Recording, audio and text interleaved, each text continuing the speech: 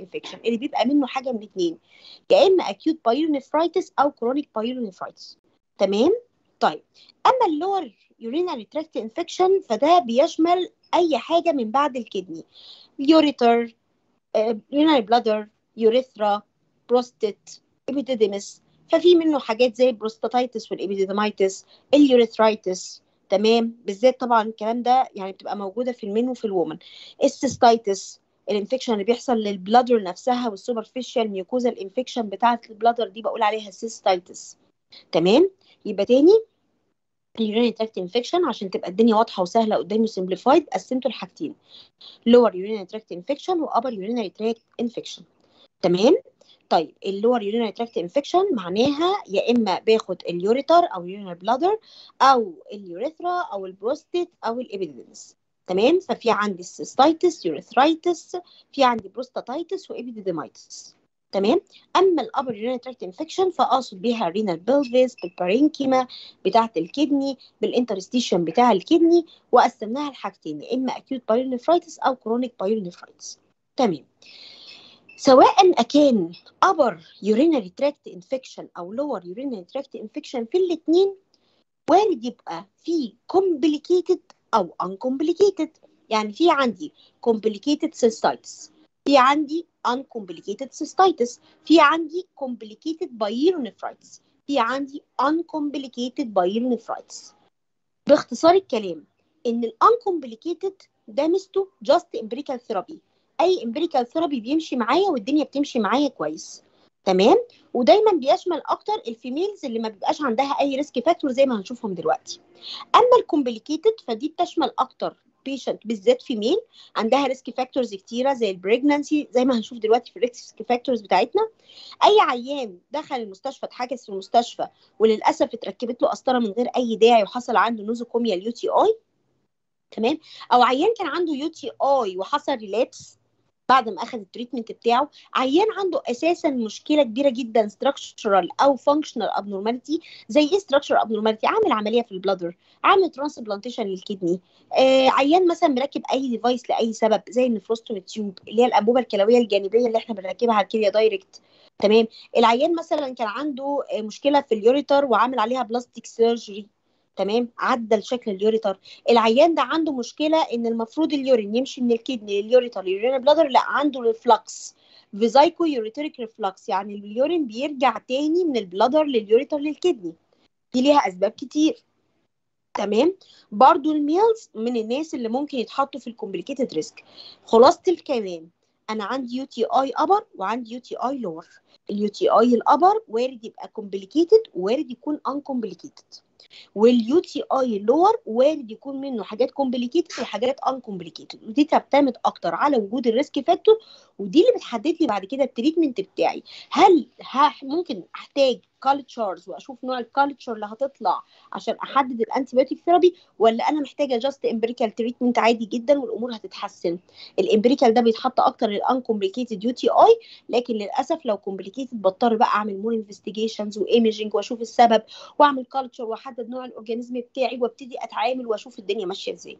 تمام؟ طيب. خلاصة الكلام عايزين نتفق مع بعض إن ال patient عشان يبتدي ي present بال urinary symptoms بتاعة ال UTI و significant bacteriuria يعني ألاقي فيه بكتيريا موجودة في ال urine لازم يكون على الأقل حوالي 10 أس 5 بكتيريا بالملي تمام؟ أقل من الرقم ده مش هتبقى significant والعيان مش هيجي لك ابدا بأي urinary manifestation ل UTI زي ما هنشوفهم دلوقتي. ال asymptomatic bacteriuria معناها إن ال patient عنده significant بكتيريا فعلا في ال urine لكن ال patient ما عندوش symptoms تاني يبقى في فرق كبير إن العيان يبقى عنده حاجة اسمها asymptomatic bacteriuria ال asymptomatic bacteriuria يعني مجرد ما العيان for chance للصدفة البحتة لأي سبب صدفة كده بقول للعيان اعمل تحليل بول. والعيان ما اشتكاش ابدا لا من dysuria ولا من fever زي ما هنشوف ال manifestation دلوقتي. تمام؟ ومرة واحدة لقيت بالصدفة إيه ده؟ إيه ده يا عم الجدع؟ ده أنت عندك ما شاء الله البكتيريا 10 أس 5 بكتيريا بالملي في ال urine. أنت معقولة ما بتشتكيش من حرقان في البول ولا من ألم في ال flank pain ولا حتى مثلا من fever ولا chills ولا leukocytosis ولا fatigue ولا ولا ولا؟ يقول لك لا خالص أنا مش حاسس بأي حاجة خالص.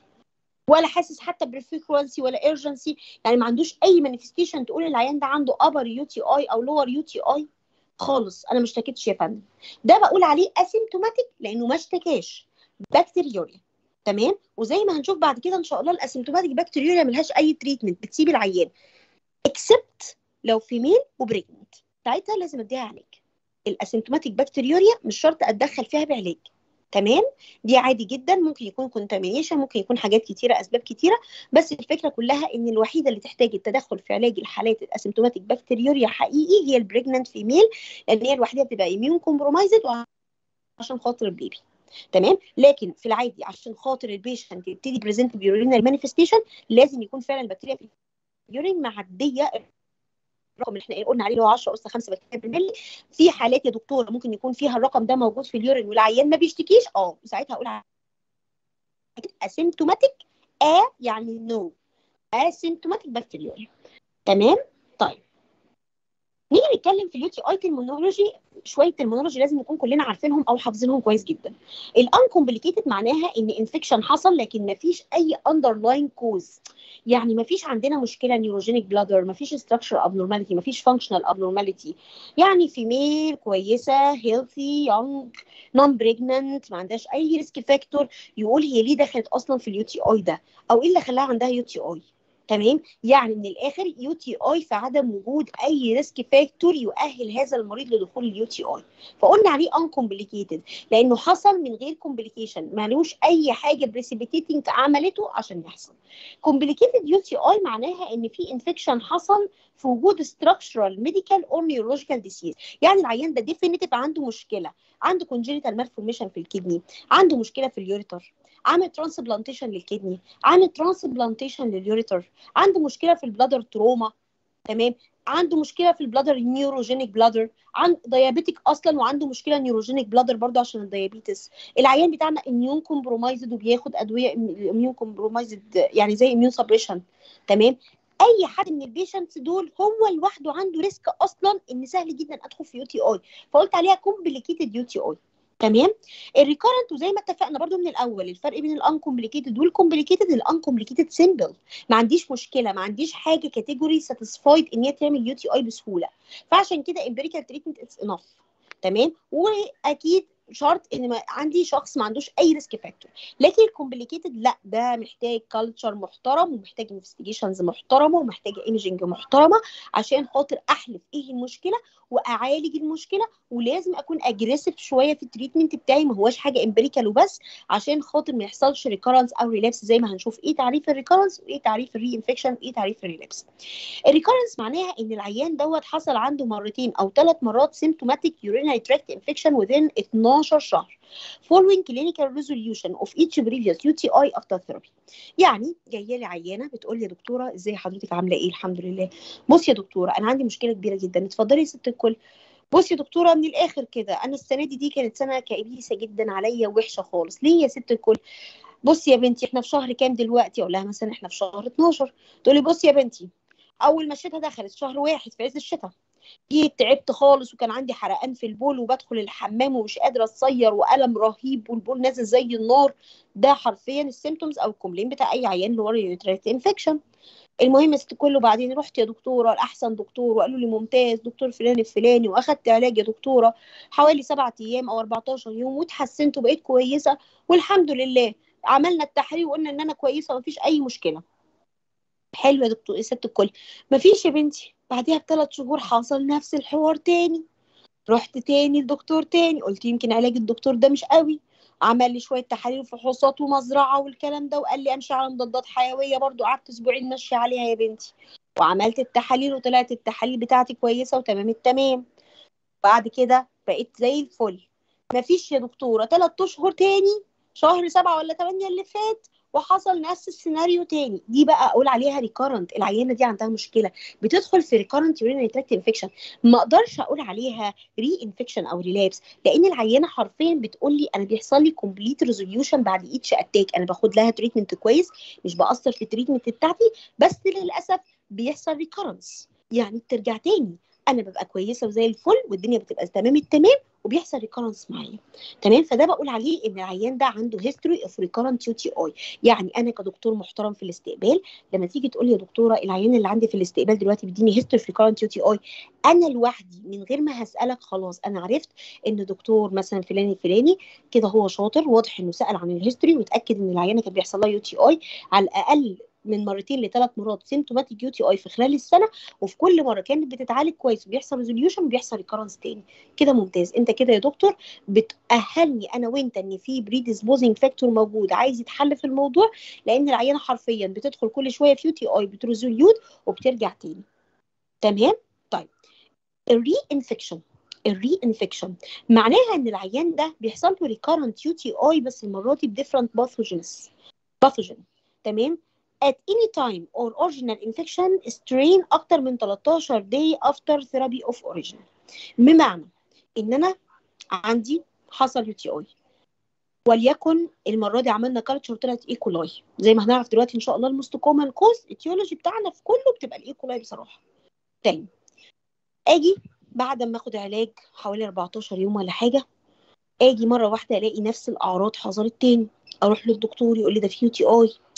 معلش يا بنتي هنعيد المزرعة تاني. يا دكتور مش إحنا لسه عاملين مزرعة قريب وطلعت بكتيريا ال E. coli وإحنا خدنا لها علاج يقول لي معلش هنعيد تاني.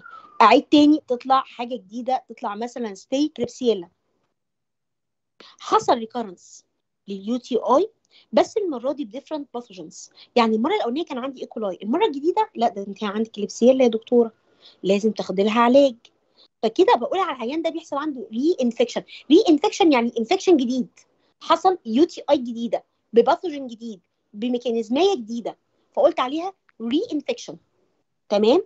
أما ال relapse معناها إن بنفس ال pathogen حصل تاني recurrence recurrent UTI caused by the same species causing original UTI within two weeks after therapy. يعني الفرق بين الاثنين إن أنا عندي في الاثنين في الاثنين حصل recurrence لليو تي اي لكن في ال reinfection المرة اللي فاتت كان بال E. coli المرة دي Klebsiella المرة اللي بعديها كانديدا وهكذا.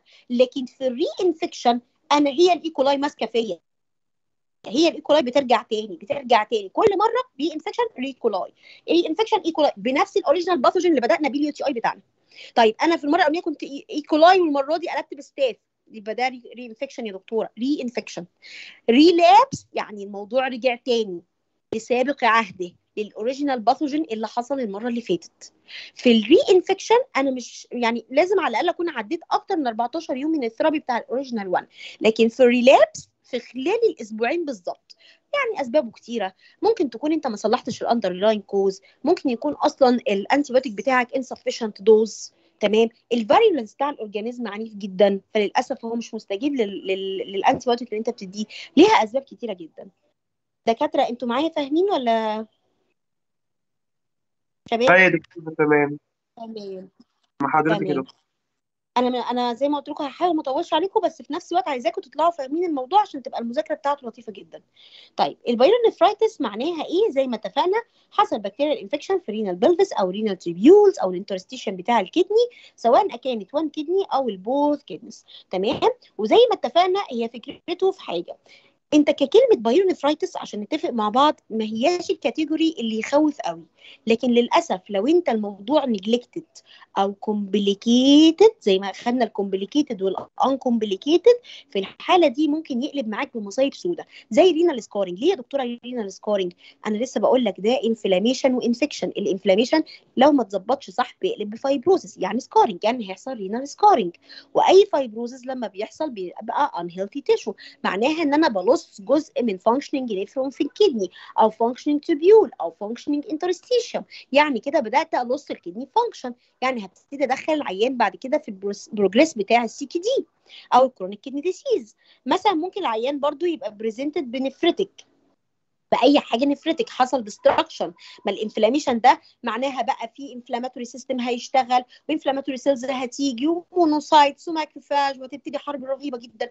ويحصل destruction جامد قوي. ممكن يحصل destruction لل basement membrane بتاع ال glomeruli وال Bowman's capsule ويبتدي يحصل عند العين ده nephritic manifestation تمام؟ ممكن يقلب بعد كده ب pus formation حوالين ال kidney فبيبقى في صورة perinephric abscess تمام؟ ممكن بعد كده يقلب الموضوع إن البكتيريا نفسها تسرح بقى منك لل kidney لل blood vessels بتاعت ال kidney وتدخل على ال circulation بتاعتك فيحصل عند العيان ده septicemia و septic shock تمام؟ طيب المهم الفكرة كلها إن في الآخر خالص بيحصل damage لل kidney و hypertension إيه ده يا دكتورة بعد إذنك لو سمحتي؟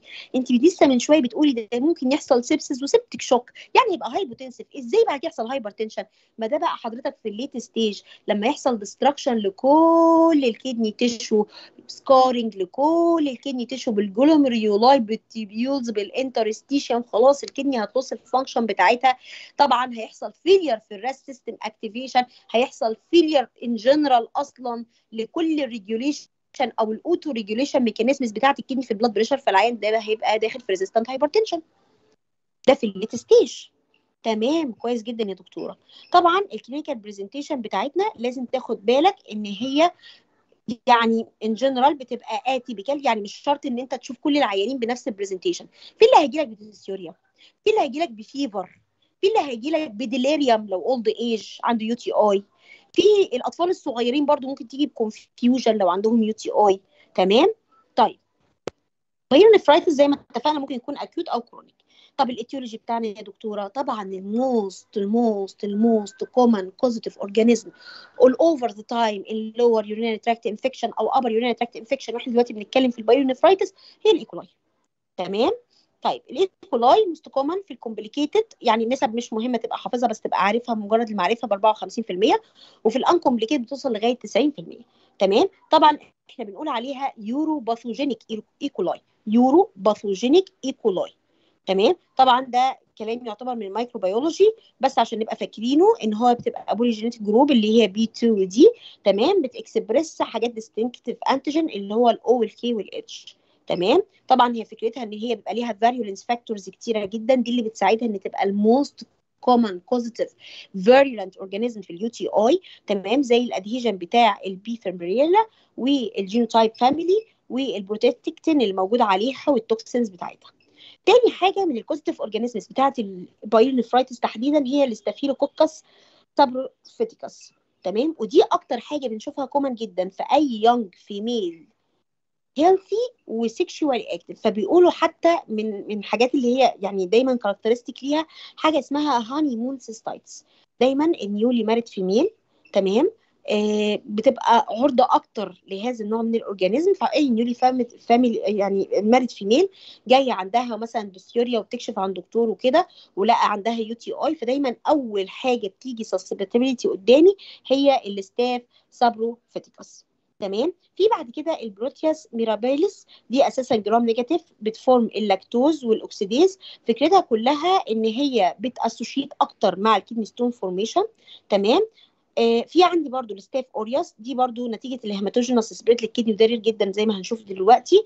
ودي أكتر حاجة بتعمل آه micro abscesses دايما لما بتشوف أي عيان UTI وعملت له سونار ولقيت فيه micro abscesses دايما دماغي بترمي أول حاجة إن هي تكون Staph aureus مشهورة جدا إن هي بتعمل micro abscesses يعني كل واحدة ليها characteristic ال E. coli دي ال most common one لو newly married female young جاية ب UTI هفكر أول حاجة في Staph saprophyticus تمام؟ لو عندي مثلا آه عيان عنده UTI بعمل سونار بالصدفة لقيت ال kidney دي فيها micro abscesses دايما دماغي بترمي أول حاجة عليه ممكن تكون Staph aureus تمام؟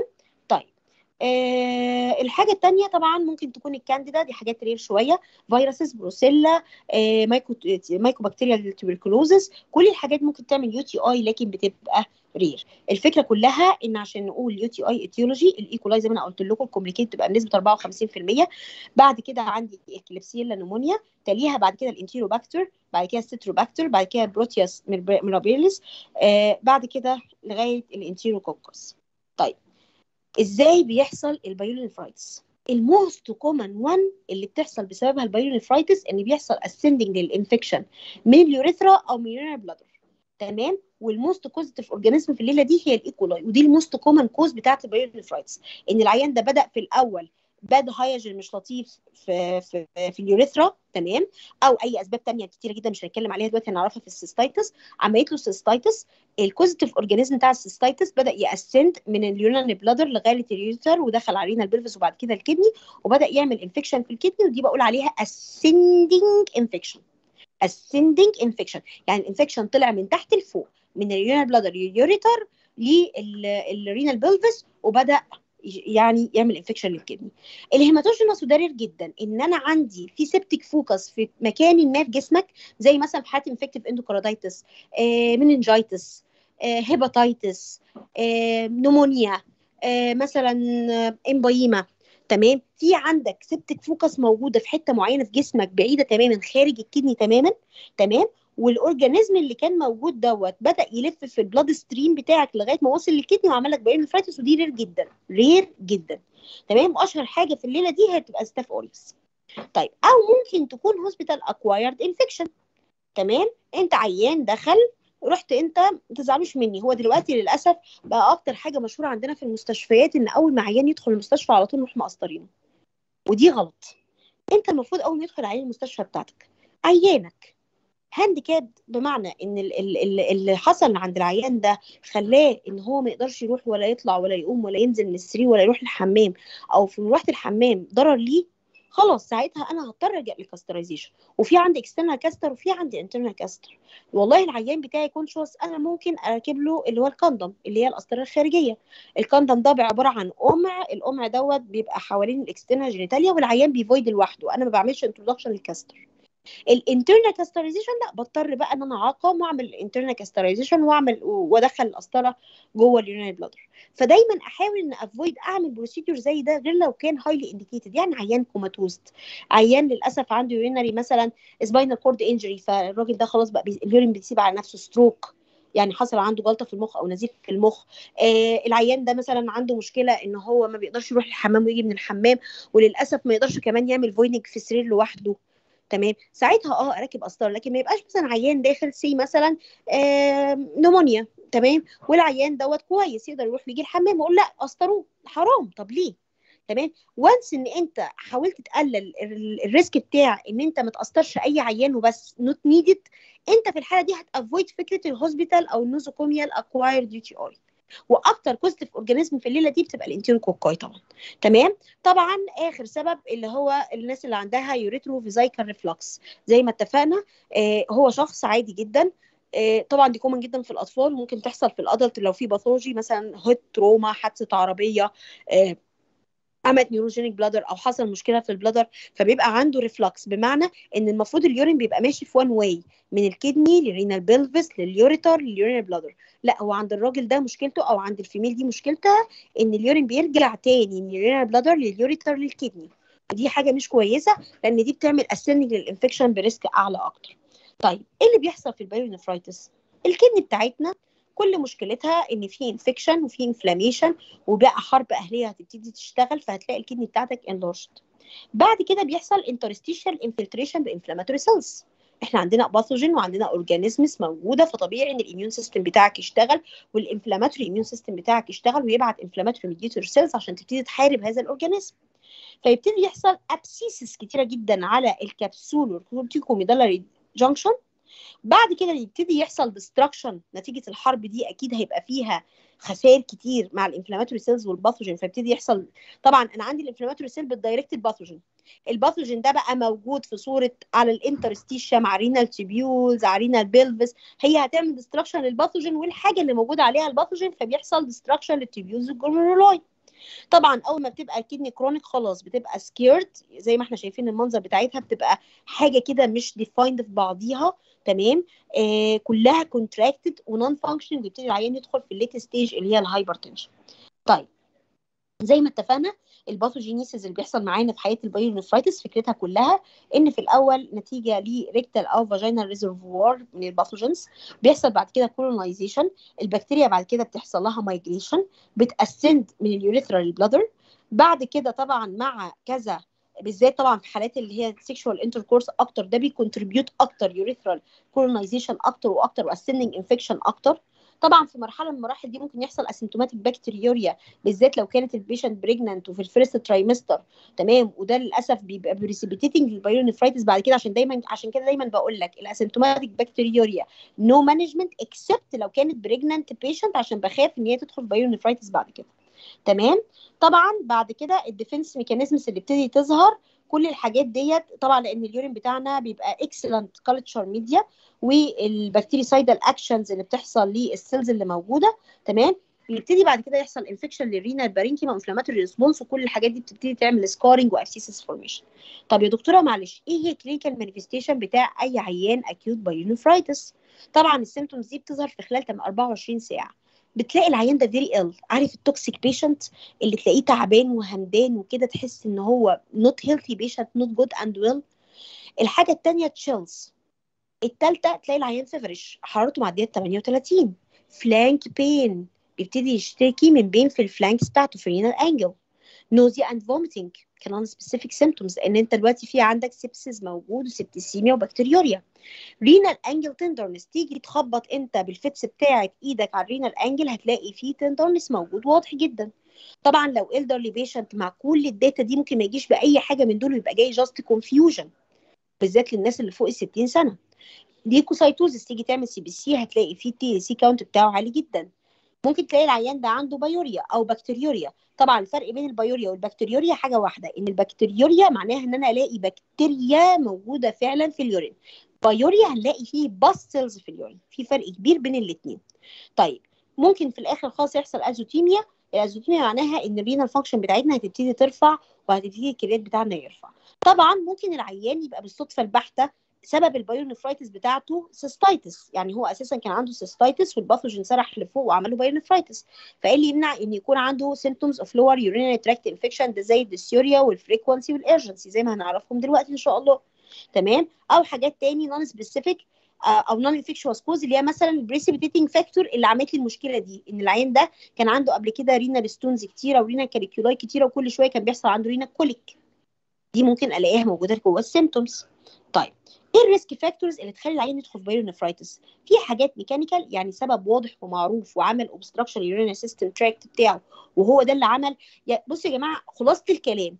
urinal stasis يساوي infection يعني انت المفروض ان ال urine ده الطبيعي بتاعك ان ال urine ماشي ماشي على طول على طول على طول.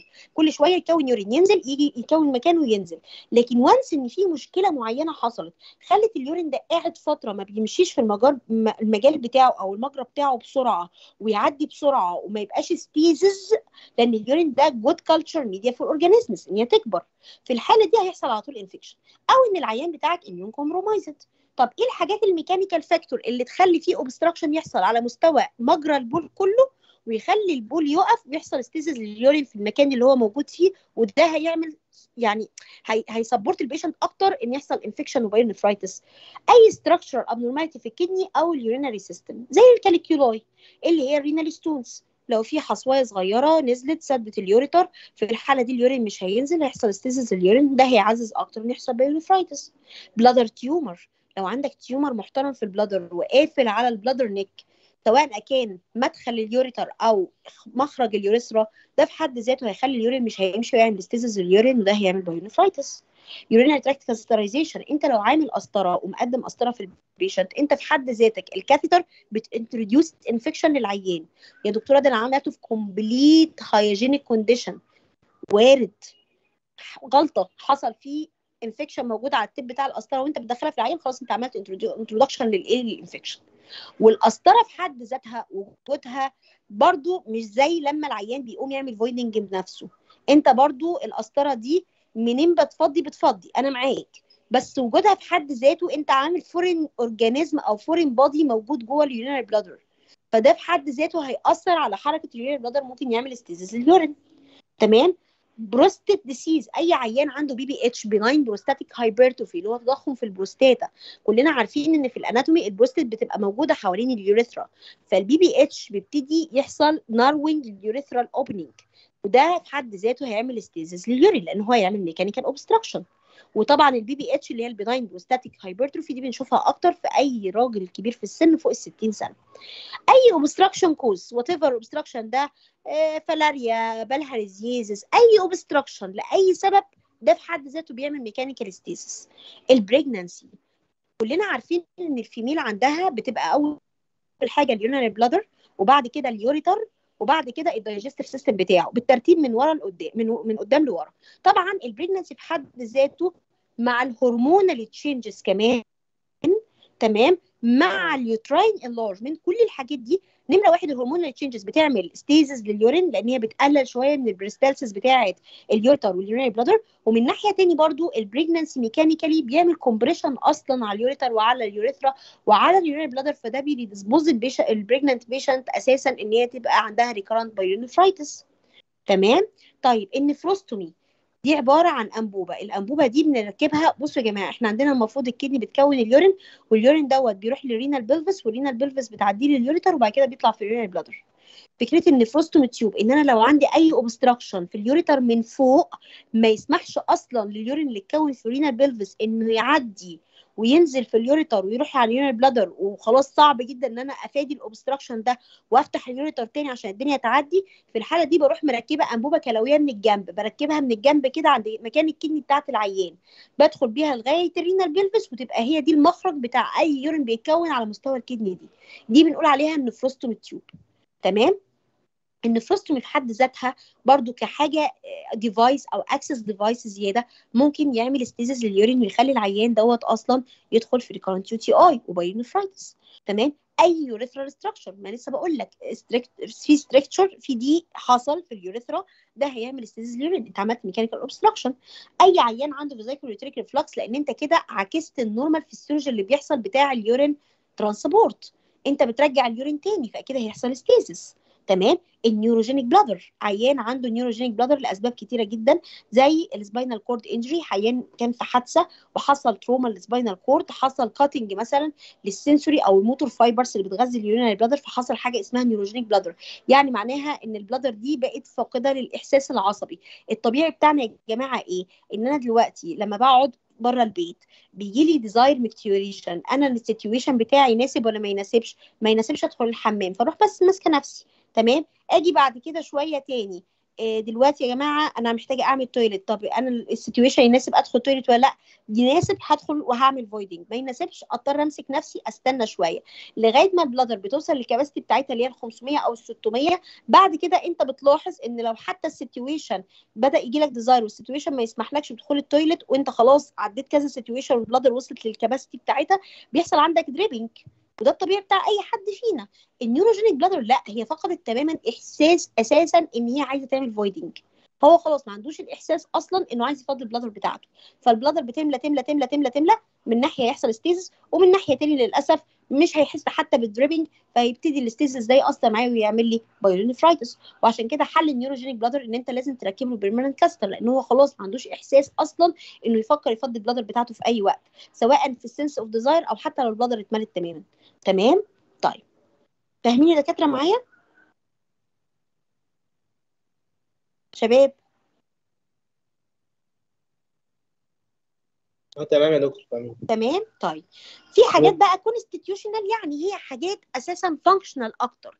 بتأثر معايا functional أكتر في على وجود ال infection زي ال diabetes. أي عيان diabetes بيبقى عرضه 10 مرات إنه يحصل UTI و pyelonephritis cystitis من ناحية عشان neurogenic bladder من ناحية تاني عشان خاطر immunocompromised من ناحية تانية برضو ال hyperglycemia في حد ذاتها بتبقى good media for bacterial growth في في ال urine بتاع الناس دي. تمام؟ أسباب كتيرة جدا مش عايزين نخوض في تفاصيلها دي إن شاء الله بإذن الله هتتعرفوا عليها في سنة رابعة في ال diabetes تمام؟ أو أي عيان immunocompromised لأن ده معناه إن العيان ده immunocompromised يعني البكتيريا أساسا ال urine good media for bacterial growth وهو كمان immunocompromised فده هيسهل جدا ال bacterial growth في الميديا دي. طيب إيه ال complication اللي وارده لأي عيان pyelonephritis زي لسه ما بقول لك من شوية أنت لو حصل العيان ده recurrent pyelonephritis أصل أنت مشكلتك إيه؟ pyelonephritis جزء من ال kidney اتضرب pyelonephritis جديدة جزء من ال kidney اتضرب والجزء اللي من ال kidney ده بيتضرب إزاي؟ بيبقى scarred خلاص بيبقى scarred يعني بيبقى fibrosed necrotic non functioning فأنت مع الوقت كل ال kidney هتلص كل ال glomeruli هتلص العيان ده يدخل بعد كده منك في resistant hypertension تمام؟ عشان خلاص حصل failure لل autoregulation mechanism بتاعت ال kidney في ال hypertension لأنه already حصل loss لكل ال glomeruli طبعا في أثناء ال attack نفسها ممكن ال infection severe قوي ويحصل bacteremia و septicemia و sepsis لدرجة إن أنا أدخل بعد كده في septic shock والعيان ده يضيع من ال septic shock تمام؟ ممكن يحصل multi organ failure لو العيان دخل في DIC وارد جدا. لو أنت عندك بكتيريا محترمة عملت ال UTI ودخلت على ال blood وعملت septicemia و bacteremia و sepsis و septic shock وبدأت بعد كده بقى تاخد تضرب الهارت اللنج البرين الليفر هيحصل عندك multi organ failure ال shock نفسها ممكن تدخلك في multi organ failure DIC تمام؟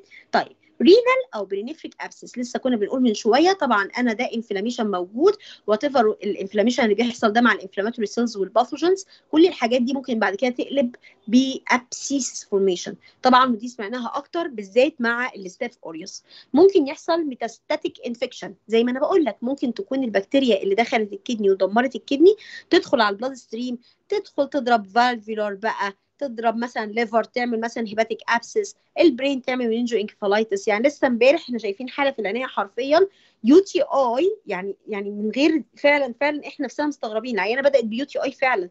العيانة عايزة أقول لك إن هي قلبت دلوقتي multi organ dysfunction العيانة دخلت في encephalitis ودخلت معاها في في hepatitis ال liver enzymes بتاعتنا عليت جدا غير كمان pneumonia يعني إحنا نفسنا حتى وقفنا محتارين قدام الحالة.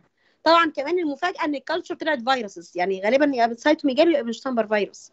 فدي وارده يبقى ده معناها فعلا يا دكتورة كلامك صح. إحنا ممكن ال UTI يوصل بيا لمرحلة metastatic infection والعيان يدخل في multi organ failure تمام؟ طيب papillary necrosis إن بيحصل necrosis لل renal papillae acute renal failure. ممكن توصل إن يحصل acute shut down لل kidney function مرة واحدة تلاقي ال creat عالي ويضطر العيان يدخل على ال dialysis لغاية ما الأمور تتحسن لأن أنت دلوقتي بدأت تضرب glomeruli و renal tubules و interstitium ممكن تضرب نص ال kidney مرة واحدة في ال infection تبقى non functioning فهتضطر إن أنت تعمل dialysis لأن ال kidney خلاص non functioning فلازم تلجأ للحل البديل اللي هو بنقول عليه renal replacement therapy اسمه renal replacement therapy لأنه حاجة جلسة استعاضية للكلية اللي متوقفة في الوقت الحالي. لغاية ما تتظبط. تمام؟ طيب ممكن يحصل حاجة اسمها emphysematous pyelonephritis إيه ال emphysematous pyelonephritis معناها إن pyelonephritis بس للأسف نوع ال organism اللي موجود فيه gas forming organism ال organismات اللي بتبتدي تعمل gaseous formation تمام؟ فتلاقي حتى المنظر في ال radio imaging بتاعه إن عبارة عن إيه؟ gases موجودة كده في ال bladder أو gases موجودة في ال kidney يعني infection ب gases دي في الحاجات اللي فيها gas forming organisms فبيقولوا عليها emphysematous لأن هي عملت حاجة زي ال emphysema. emphysema يعني زي saccules كده مليانة هواء. تمام؟ pyelonephritis لأن أساس المشكلة هي ال pyelonephritis في الأصل. طبعا ممكن الموضوع يقلب معانا ب renal gangrene تمام؟ يعني أنا دلوقتي حصل مثلا ال infection وال inflammation اللي حصل دوت ال infection وال inflammation دوت آه للأسف ضرب معايا blood vessel major blood vessel مهم جدا. حصل cutting لل blood supply حصل renal ischemia ممكن يحصل renal gangrene تمام؟ طبعا ممكن في الآخر خالص هيحصل permanent زي ما اتفقنا ال renal function وفي الحالة دي العيان هيكمل معايا ب chronic renal failure طب يا دكتورة معلش هو إحنا إزاي نقدر نعمل diagnose الصح لعيان pyelonephritis وأقدر أعرف صح إزاي أتعامل مع هذا العيان؟ طبعا أول حاجة دايما لازم نلجأ لها ودي ال key بتاع أي حالة renal في الدنيا ال urine analysis طبعا شرط لازم تاخد clean catch or catheterized urine sample with quantitative culture. بمعنى ما ينفعش أول حاجة تيجي مثلا عيان جاي لك من بره إيه مثلا مركب قسطرة هو أساسا عنده stroke جلطه في المخ أو أو نزيف والعيان ده bedridden ونايم في السرير over the time هم مركبين له أساسا قسطرة في البيت وجايين لك المستشفى ب UTI تيجي أنت تمسك كيس البول أو القسطرة اللي مركبها العيان اللي بقالها حوالي 15 20 يوم مركوبة وتقول يا دكتورة بعد إذنك أنا هسحب منها urine sample غلط صح تشيل القسطرة القديمة اللي كلها مليانة infection لأن هي القسطرة في حد ذاتها بقت contaminated هي والكيس جمع البول اللي موجود معاها. وأعمل introduction لقسطرة جديدة وأقفلها وأسحب clean sample مش بمعنى كلمة clean clean. لا هي هتبقى أكتر بمعنى إن أنا بسحب بحاجات clean instruments يعني مش قسطرة مركوبة بقالها 15 يوم اسحب منها. كيس جمع بول بقاله أكتر من 20 يوم مركوب في العيان وبسحب منه. لا لازم أجمع العينة بتاعتي بطريقة clean تمام؟ أشيل القسطره القديمة أو كيس جمع البول القديم وكمان التجميع ما يبقاش من كيس جمع البول ده أنا بركب قسطره جديدة وأقفل القسطره نفسها وأستنى مثلا ربع ساعة ونص ساعة بعد كده أفتح القسطره وأقول للممرضة تفتح القسطره وأجمع البول المطلوب وأروح أبعته للمعمل. لو عيان healthy individual بقول له بعد إذنك بديله كوباية تدخل الحمام تحاول تعمل cleaning كويس للمنطقه دي وتعمل midstream urine اللي هو مثلا أول شوية يعملهم في ال toilet بعد كده النص اللي في نص ال stream يعملهم في الكوباية واخر شوية يعملهم آه بره الكوباية. ده كويس. ك midstream urine sample لأن دي بتبقى ال most accurate one في كل حاجة. تمام؟ طيب. طبعا أو إن أنت زي ما اتفقنا catheterized اللي أنا لسه كنت بقول لكم عليها. طيب طبعا بنعمل culture على blood agar plate أي selective media كويسة على أساس إن أنا بحدد إيه نوع ال antimicrobial therapy اللي أنا بكمل عليه بعد كده. خلاصة الكلام يا جماعة أنت دخلك عيان UTI. أنت أول حاجة بتعملها بتروح ساحب عينه ال urine sample بالطريقة دي تبعت المعمل بتبتدي empirical antibiotic لغاية ما ال culture بتاعتك تظهر في خلال 3 4 أيام. منها عشان خاطر ما تسيبش العيان neglected ومنها برضو عشان ما تبقاش حكمت أو سحبت ال culture وأنت على antibiotic وأثرت على النتيجة بتاعتها. طيب ال diagnosis بتاعي هي confirm إزاي وأقول إن ده عيان ده pyelo نمرة واحد زي ما اتفقنا significant bacteriuria اللي هو 10 اس 5 per ملي تمام؟ أو وجود بص الحاجة التانية لازم ألاقي leukocyte esterase dipstick test ال dipstick test ده يا جماعة عبارة عن شريط بنحطه كده في ال urine أو عينة ال urine sample وبشوف الشريط ده أخباره إيه بالألوان بتاعته ال colors. كل color بي indicate حاجة.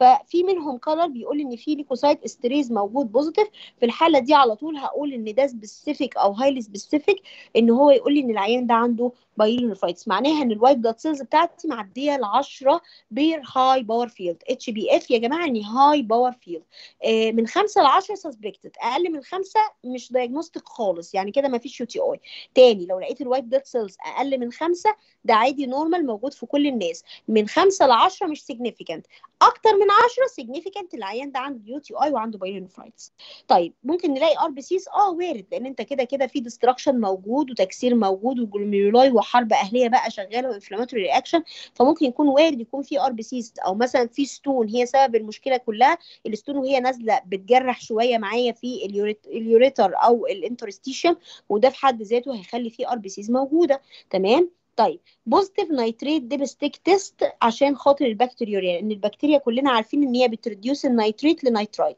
فلو لقيت فيه positive nitrite dipstick test برضو باختبار الشريط ده ده في حد ذاته بيبقى من ال positive tests اللي موجودة عندي. تمام؟ طيب الحاجة الثانية blood tests طبعا مهم جدا أسحب blood sample للعيان دوت. بالذات لو في systemic infection أكيد هلاقي فيه leukocytosis تمام؟ ال CRP هلاقيه عالي. في systemic infection موجود اللي هو C-reactive protein طبعا لو العيان ال kidney function بتاعتي بدأت تتضرب هلاقي ال blood urea nitrogen اللي هو ال BUN وال creatinine level بتاعتي بدأت تعلى. وفي الحالة دي لازم أتابع العيان ده عشان أشوف هل ممكن يحتاج dialysis كحاجة temporary مؤقتة لغاية ما اصلح ال pyelonephritis ولا لأ. radiology طبعا في حاجات كتيرة جدا زي السونار وال CT scan في حاجات radionucleotide دي مش بنعملها بصراحة بالجيليوم بس لازم تبقى عارفها. والحاجة المشهورة جدا اللي هو ال intravenous pyelogram. بص خلاصة الكلام أنت لما بتعمل radiology لأي عيان pyelonephritis أنت بتدور على حاجتين مهمين. هل العيان ده عنده reflux؟ يعني في backward أو أو أو ال urine بيرجع تاني لل kidney؟ هيبان في صورة إيه؟ هيجي الدكتور يكتب لك في ال comment على فكرة يا دكتور أنا شايف إن في backward pressure لل urine في ال ureter وال kidney وفي back pressure في ال kidney وال kidney كلها فيها urine أنت في حد ذاتك لوحدك هتفهم إن كده في vesicoureteric reflux تمام؟ أو في stone formation الاثنين بيبانوا. تمام؟ فأنت دايما في أي imaging بتدور على في reflux موجود ولا لأ و stone. من الآخر بتدور على وجود risk factor يساعد على ال pyelonephritis ولا لأ ممكن يتصلح ولا لأ.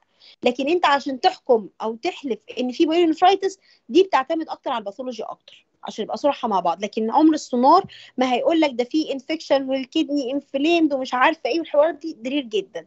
تمام؟ أكتر ما هيساعدك ال radiology يقول لك في سبب واضح وجوهري لهذه المشكلة تدخل وتعالجها ولا لأ. تمام؟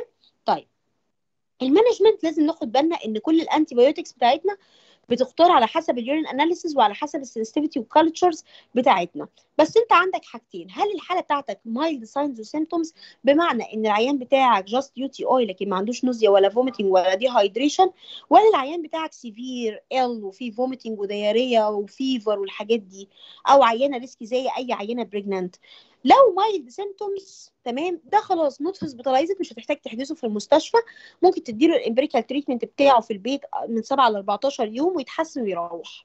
لكن لو عيانك بتاعك very ill أو risky patient pregnant female patient و severe ill وفي nausea و vomiting و dehydration و fever و shock و sepsis في الحاجة دي لازم hospitalized ولازم تديها IV therapy على الأقل 3 4 أيام 5 أيام وبعد كده بتفرق بال oral therapy 7 أيام. تمام؟ طيب ال options بتاعتنا كتيرة جدا. في عندي حاجة زي ال Bactrim في عندي حاجة quinolones ال amoxicillin ال amoxiclavulanic acid وال gentamicin تمام؟ طيب ده بالنسبة لل mild cases ال severe cases ال fluoroquinolone تمام IV بعد كده oral ال aminoglycoside وال ampicillin IV بعد كده ممكن ندي ال Bactrim oral ال third generation cephalosporin IV بعد كده ممكن ندي حاجات ال Bactrim oral إيه طبعا أو في عندي piperacillin وال carbapenem طبعا ال ambulatory patients ال patients اللي يقدر يتحرك أو ما فيش أي مشكلة معاه ممكن تديه orally therapy من 7 ل 14 يوم لأي antimicrobial agent تمام؟ طيب. آه نيجي نتكلم في ال prevention أنا دلوقتي عيانة risky. ممكن يحصل لي pyelonephritis هل ممكن يا دكتور يحصل إن أنا أقدر آخد prevention ما يحصلش recurrence تاني؟ ممكن. وفي الحالة دي بدي حاجة اسمها antimicrobial prophylaxis بس بال half doses زي ال Bactrim بتديه لمدة ثلاث أسابيع أو ال nitrofurantoin آه اتفضلي. وال ambulatory ده آه، مش إحنا قلنا في الأول في ال severe case لازم نعمل ال ambulatory hospitalization مش هنحجزه بمعنى آه عيان مش hospitalized يعني انت في عيان ممكن تبقى تخليه hospitalized ده لو عيان severe ill ولدرجة إنه ما ينفعش يروح البيت. في عيانين تاني ممكن نلاقيهم آه fever و vomiting وكده بس العيان ambulatory بيتحرك مش لدرجة إنه راقد في السرير. فساعتها ال severe دي تحت ال symptoms آه severe symptoms ambulatory patient يعني يقدر يتحرك. تمام؟ تمام. تاني أنا جاي لي عيان severe ill في الأول خالص هحجزه. هديله IV antibiotic 3 أيام. بعد كده أكمل معاه بسبع أيام oral طيب العيان ده severe symptoms بس ambulatory بيتحرك وبيروح وبيجي. مفيش مشكلة لو خليته يروح ياخد oral therapy تمام من 7 ل 14 يوم واتابعه. طب ماشي طب ال pregnant ليه ما بروحهاش؟ ما هي بتتحرك عادي. لانها risky لأن دي immunocompromised وعندها baby ممكن يحصل ascending infection لل baby ويحصل chorioamnionitis يعني لسه شايفين حالة الأسبوع اللي فات chorioamnionitis والعيانة دخلت في DIC يعني لدرجة إن العيانة precious baby 34 أسبوع وإحنا نسينا احترنا قدامها نعمل termination ولا لأ. كان عندها اتنين baby died قبل كده. العيان دخلت في UTI neglect ال UTI بتاعها اعتبرته حاجة عادية جدا. للأسف حصل ascending لل infection لل uterus. حصل عند العيان ده chorioamnionitis والعيان دخلت في DIC كمان. وعايزة أقول لك إحنا وصلنا إن العيانة دلوقتي في الوقت الحالي platelet 20000 مش عارفين يعملوا termination لأن ال termination بتاعها لازم يكون section تمام؟ يعني العيانة دلوقتي أساسا إحنا دلوقتي بنديها سترويد عشان نرفع ال platelet مع إن هي في sepsis وبنديها platelet عشان عايزين نعمل termination بأي شكل لأن مش عارفين نفتح العيانة على 20000 ادينا platelet في الأول ما نفعش فاضطرينا ندي سترويد عشان نرفع ال platelet شوية قلنا لاحسن يكون في anti platelet antibody شغال عليها بيكسر لها ال platelet والعيانه مش عارفين نفتحها عشان خاطر ال platelet بتاعتها واقعة. فعشان كده ال UTI في ال pregnancy كارثة لأنه أبسط حاجة ممكن يعملها لي chorio ممكن يعمل لي fetal congenital malformation لو البكتيريا دي دخلت ال baby هتعمل fetal congenital malformation فدايما ال pregnancy بالذات بيبقى alarm sign قدامنا. once حصل asymptomatic bacteriuria يعني مجرد وجود بكتيريا بس في ال urine significant وهي symptomatic و pregnant لازم تاخد therapy دخلت في UTI لازم تاخد therapy حتى لو كانت لسه في البداية و uncomplicated ومش manifest بحاجة لازم تاخد therapy اولا عشان أنا ما ادخلش في dilemma معاها هي بعد كده pyelonephritis و sepsis و septic shock وعشان ال baby لأن نفس ال infection اللي ممكن ي ascend النيرينال بلادر للكدني ممكن يأسند عادي جدا عن طريق ال vagina لل uterus وياخد ال baby وياخد ال amniotic fluid ويعمل لها مصايب سودا why not تمام؟ تمام يا دكتور. طب ال antibiotics دي إحنا هنحفظها بالترتيب ولا أي option عادي؟ نحفظها بالترتيب. يعني انت هتلاقي تقريبا نفس الأنواع واحدة. أنا حتى مش طالبة الجرعات بس نبقى عارفين ال choices بتاعتنا في ال antibiotics طبعا خدوا بالكم من حاجة دي هنشوفها دلوقتي إن الكينيلون من الحاجات ال contraindicated في ال pregnancy عشان يعني دي لسه هقولها لكم في ال specific categorization بتاع ال antimicrobial therapy تمام؟ يا طيب. دكتور. آه اتفضلي. هو حضرتك اللي مش ال aminoglycoside ومعظم ال antibiotic المكتوبة دي آه nephrotoxic وكده أنا ممكن أعرض ال patient لخطر ساعتها أنا ليه قلت بنتابع renal function على. فكرة أنا عايزة أقول لك إن ممكن ال culture بتاعتك تحكم عليكي إن هي sensitive للحاجات دي بس. مم. للأسف حاصل abuse غير عادي لل antibiotics بره. وواصلين لمرحلة وحشة جدا في ال antibiotics إن ال antibiotics العادية ال non nephrotoxic ما بقتش sensitive بقت resist تمام. فبنكتبها وبنتابع renal function فاهماني؟ يعني لسه عندنا حالة الست اللي كنت بقول لكم عليها اللي هي UTI ودخلت في meningitis طبعا إحنا كاتبينها اسايكلوفير إحنا عندنا مشكلة renal function عالية فاحنا مدين adjusted dose على renal function بنتابع renal function وصلت؟ آه يا دكتور. تمام؟ آه. تمام. يا دكتور هي إيه تي ام بي دي؟ التي ام بي الدرج آه، هو- المكتوب دي يا دكتورة. الدرج الأول اللي مكتوب في المايلد سيمتوم طيب أنا هجاوبك عليه حاضر في الآخر عشان ده هيحتاج شرح مفصل. ماشي؟ بس عشان بس ألحق لأن في عندي مشكلة احتمال الكهرباء تتقطع. ف ماشي؟ طيب. مبدئيا ال- لما نيجي نتكلم على ال differential diagnosis بتاع أي عيان pyelonephritis إيه الحاجات اللي ممكن تشابه ال pyelonephritis في أعراضها؟ أول حاجة ممكن يكون عند العيانة دي female patient وعندها pelvic inflammatory disease زي ما هناخد في النساء إن شاء الله اللي هي ال- ال- ال females اللي بيبقى عندها مشكلة طبعا ال married female اللي بيبقى عندها recurrent pelvic inflammatory condition تمام؟ آه ممكن تكون العيان دي ectopic pregnancy why not لأن ال nausea وال vomiting وال pain بتاع ال abdomen ممكن يكون ectopic pregnancy عشان كده دايما في حالات ال UTI كتير جدا بنطلب pregnancy test عشان ن exclude إن ده مش ectopic pregnancy وإن ده فعلا pyelonephritis لأن في تشابه جامد في الأعراض بين الاثنين في ال flank pain وال nausea وال vomiting تمام؟ طيب ممكن تكون diverticulitis إن شاء الله بإذن الله هتاخدوها السنة الجاية.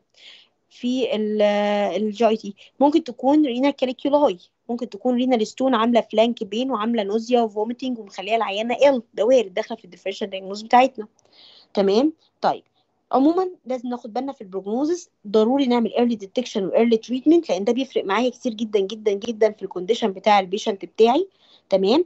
ولازم يكون في baseline assessment كويس جدا لأن ال pyelonephritis ممكن تحصل في أي وقت ك primary أو secondary disorder لأي حاجة. طبعا وزي ما اتفقنا لو حصل relapse لازم أعمل course تاني لمدة ست اشهر يعني ست أسابيع تاني تمام؟ ومهم جدا إن بعد ما أخلص ال therapy تماما وا complete ال therapy بتاعي why not إن أنا أعمل urine culture جديد أسبوعين بعد ما أ finish ال therapy عشان أتأكد إن أنا بالنسبة لي خلاص إيه ما فيش عندي أي organism ممكن يكون موجود وإن أنا تمام التمام وعملت ال course بتاعي صح وما فيش أي organism موجود ممكن يعمل reinfection تاني. تمام؟ طيب أو relapse طيب ال chronic pyelonephritis معناها إن العيان يا ده دكتور دخل في كذا. حضرتك ما شرحتيش ال prevention sorry أنا آسفة. ال prevention ده يا جماعة زي ما اتفقنا بنعمله أكتر للناس ال recurrent اللي بيحصل عندهم recurrent pyelonephritis يعني ممكن يدخل في pyelonephritis كذا مرة. في الحالة دي بندي antibiotic prophylaxis بس المرة دي بنديها بال half doses بتاعتنا. بنعتمد أكتر على ال Bactrim وال fluoroquinolone وعلى ال nitrofurantoin. الحاجات دي بنديها بس بندي جرعات half ال doses. يعني مثلا إذا كانت مثلا prescribed في العيان UTI العادي 500 كل 12 فأنا بديها once 500 once 3 أيام مثلا. تمام؟ وآخرنا maximum بيبقى 3 أيام في ال prevention الحاجة الثانية ممكن نعمل حاجة اسمها intravaginal estradiol في ال female بالذات. ممكن نطلب من العيان ده إن هو يشرب juices بكمية كبيرة. تمام؟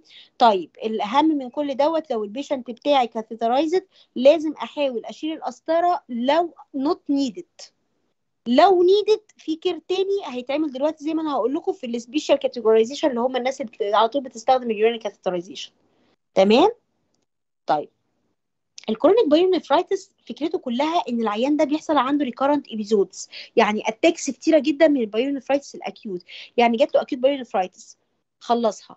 جت acute pyelonephritis ثانية وهكذا. حصل 3 4 5 attack مرة واحدة فخلت العيان ده حصل kidney damage kidney كلها تقريبا بقت damage لأن كل attack fibrosis و scarring. كل attack fibrosis و scarring. كل attack fibrosis و scarring. لغاية ما ال kidney بتاعتنا بقت كلها damage والعيان دخل في hypertension ساعتها بقول على العيان ده بقى chronic pyelonephritis خلاص هي ال kidney عنده وصلت لمرحلة كلها scarred كلها fibrosed شكلها unhealthy unhealthy شكلها كلها contracted لأن خلاص من كتر ال recurrent infection اللي عندها هي خلاص وصلت لل normal architecture بتاعها. تمام؟ فالعيان ده بقى عنده chronic pyelonephritis تمام؟ طبعا للأسف العيانين دول بيدخلوا بعد كده مننا ف renal failure و end stage وبيخسروا بعد كده. تمام؟ طبعا ال manifestation بتاعتنا ما بيبقاش فيه symptoms ال infection لأن هو خلاص اتعود إن في كذا attack جت ورا بعض عملت fibrosis و scarring وخلاص ال kidney بقت chronic خلاص. هي بقت يا جماعة pyelonephritic يعني خلاص من كتر ال infection اللي جه في ال kidney ده ودمرها و scarred بقت pyelonephritic شكلها كده abnormal irregular fibrosed contracted تمام؟ ما هياش ال healthy kidney tissue اللي إحنا متعودين عليها. تمام؟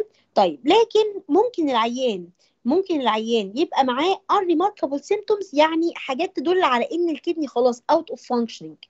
ال kidney تعبت ما بقتش بتاخد كفاءة الشغل بتاعتها وبتعمل filtration لل blood من اليوريا والأمونيا والحاجات ال toxins وال uremic toxins تمام؟ فتلاقي العيان ده معاه nausea vomiting آه ممكن polyuria لأن ال kidney خلاص عندها loss لل ability بتاعت ال concentration بتاع ال urine excessive آه thirst لأن هو من كتر ال polyuria بيحتاج يشرب مية كتير weight loss بدأ يخس جامد جدا تمام؟ generalized malaise آه ممكن diarrhea ممكن يبقى fatigued headache poor appetite كل الحاجات دي بتقول signs إن العيان ده مثلا خلاص بدأ يدخل في renal failure و retention لل uremic toxins وال uremic toxins دي هتبتدي تعمل كل الحاجات اللي إحنا بنتكلم فيها زي ما هتشوفوا بكرة إن شاء الله في محاضرة ال CKD. تمام؟ وفي الآخر خالص زي ما اتفقنا hypertension ال assessment بتاعنا بتحتاج. اللي هو ال renal function طبعا لأن أنت خلاص عيانك بدأ يدخل في renal failure في أهمهم الكرياتينين واليوريا. ممكن تعمل culture sensitivity مع إن هم مش هيفيدوا معاك قوي لأن خلاص ال renal tissue بتاعك بقى scarred وبقى تقريبا fibrotic ممكن تعمل intravenous pyelogram اللي هو بحقن صبغة من تحت في اليوريثرا وبصور اليوريثرا باليورينري بلادر باليوريتر بالكدني. وأشوف فيه أي malformation stone stricture reflux and so on بس برضو مش هيبقى ليه ال helpful قوي لأن ال chronic pyelonephritis خلاص هي ال kidney تقريبا damaged يعني أنت مهما عملت ومهما اتدخلت الموضوع خلاص انتهى. تمام؟ طيب ال complication زي ما اتفقنا hypertension عشان بيحصل destruction لأكتر من 90% من ال glomeruli طبعا العيان بعد كده خلاص بيدخل في end stage kidney disease وبيضطر إن هو يعمل dialysis بعد كده. تمام؟ طبعا ويبتدي يحصل stasis لل urine. ال urine ده كله عبارة عن salts ال salts دي تتكون على بعض يبتدي يعمل kidney stones كتيرة جدا. تمام؟ طبعا ال management بتاعنا على حسب ال culture sensitivity ما بيبقاش specific قوي عشان نبقى صراحة مع بعض. تاخد بالك تتابع renal function ولازم تاخد بالك برده في ال drug instructions اللي انت بتديها للعيان دوت لأن هو بنسبة كبيرة جدا هتلاقي ال kidney function بتاعته عالية وأي drug هتديه لازم تبقى adjusted على حسب ال kidney function بتاعته الا لو كان خلاص بدأ ي proceed dialysis تمام؟ طبعا مهم جدا إن أنت برضو في حالات ال chronic pyelonephritis تدي فكرة لل nursing إن إحنا مثلا لو عيان admitted عندنا في ال ICU مثلا ب chronic pyelonephritis تعمل fluid balance كويس لازم مهم جدا تاخد بالها من ال fluid لو العيان ما بيجيبش urine ما تديش fluid طالما العيان ما بيجيبش urine عشان ما يحصلش volume overload لازم تتابع الحرارة كل شوية ال antibiotic ال bed rest تمام؟ ولازم تدي adequate fluid ونعمل emptying لل bladder كويس. يعني حاجات كده بنقول عليها nursing care عشان ما تحصلش عندي chronic pyelonephritis لحالة نايمه عندي في العنايه تمام؟ أو لحالة already خلاص دخلت في chronic pyelonephritis وإن أنا بحاول على قد ما أقدر إن أنا ا cure ال patient فلازم ال nursing instructions دي بتتعمل لأي عيان pyelonephritis once إن أنت خايف يدخل في recurrent attacks وفي acute pyelonephritis عشان ما يدخلش في chronic pyelonephritis أو ممكن يكون بدأ يدخل في chronic pyelonephritis تعمل fluid balance تعمل encourage لل fluid intake كويس في العناية تتابع ال temperature كل شوية شوية تتأكد من ال antibiotics اللي بياخدها ال patient بتاعك تمام؟ لازم تعمل emptying لل bladder كل شوية وتشوف هل في مشكلة ولا لأ. طب أنا بعدي على العيان بمر على العيان العيان ده مش جايب urine طب اعملي آه flush ي القسطره يعني معناها إيه؟ احقني saline في القسطره وافتحيها نشوف هتجيب urine ولا لأ. ممكن تكون القسطره تسدد بحاجة. يا دكتورة مش جايبة طب معلش شيلي القسطره ونغير قسطره جديدة يمكن القسطره تسدد وهكذا. ده اللي بنقول عليه ال nursing care طيب نيجي ندخل بعد كده على ال cystitis وال cystitis تعني إن حصل inflammation لل urinary bladder تحديدا. تمام؟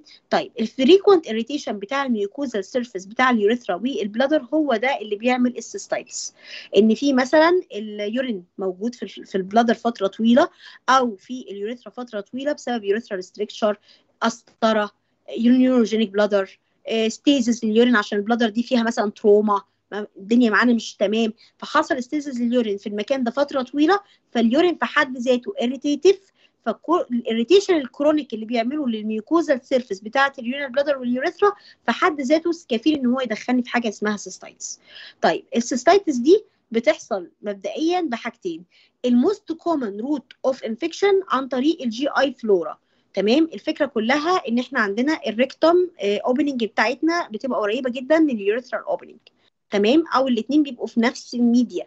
فسهل جدا إن أنت مثلا دخلت ال toilet ما عملتش hygiene كويس للمنطقه دي فأي GI flora سهل جدا تدخل لل urethra تعمل طبعا على ال urethra وال urinary bladder وتبتدي تعمل infection و irritation وتبتدي تعمل cystitis وده أكتر common causative cause أو أو route أو pathway لل cystitis تمام؟ طبعا عندك أول حاجة سواء نتيجة. طبعا هو بيقول لك ال conditions اللي سهلة جدا تساعد على وجود pathogen في ال bladder أو ال urethra نمرة واحد ال sexual intercourse عشان short urethra distance بالنسبة لل female أكتر طبعا. وال catheterization لل urinary bladder أو أي instrumentation أنت عملتها.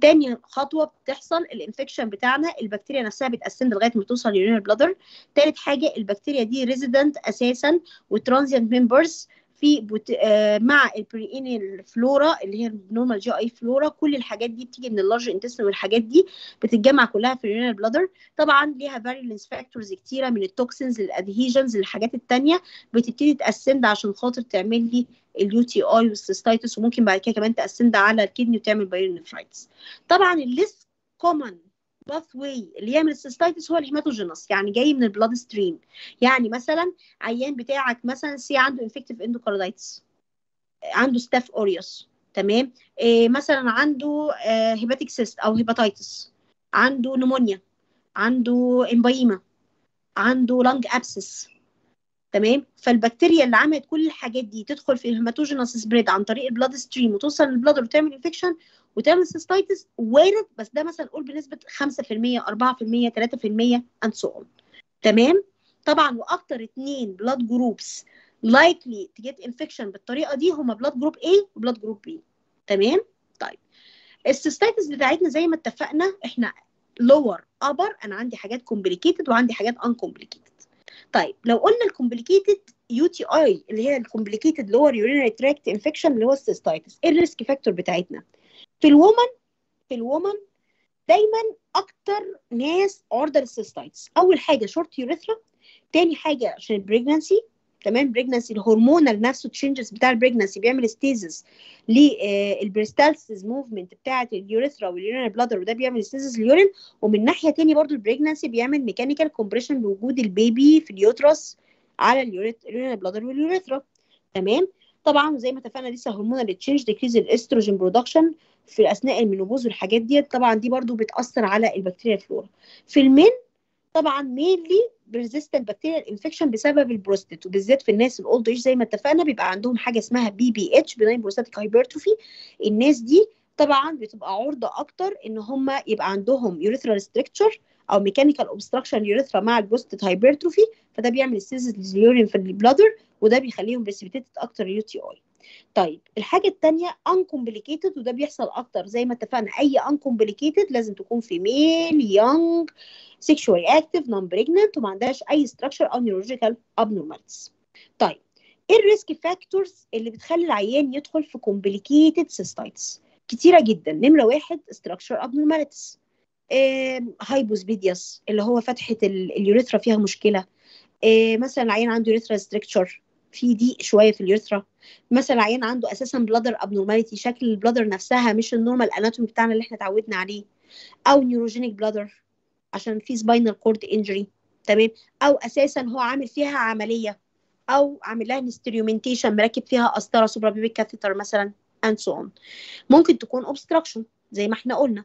تمام؟ stone stricture anyway ممكن تكون الحاجة اللي بعديها ال diabetes زي ما اتفقنا ال diabetes من الحاجات السهلة جدا ك immunocompromised patient مع neurogenic bladder تخلي فيه stasis لل urine في ال bladder وده هيسهل لي أكتر فكرة ال infection ممكن instrumentation زي ما إحنا اتفقنا اللي هو الناس اللي بتركب قسطرة كتير recurrent catheterization أو مثلا بتركب suprapubic catheter كذا مرة. طبعا هي ال suprapubic catheter دي معناها القسطرة بدل ما بتدخل بيها من فتحه ال urethra بتركبها من فوق suprapubic region ودي بتتعمل أكتر في الناس اللي عندها مشكلة أصلا في ال urethra وأنت ما تقدرش تدخل القسطرة في ال urethra وما يقدرش ابدا تسيبه من غير catheterization لأن في stasis حصل لل urine في ال bladder و retention لل urine في ال bladder فلازم تفضيها عن طريق ال suprapubic catheter تمام؟ زي ما اتفقنا catheterization urinary system تمام؟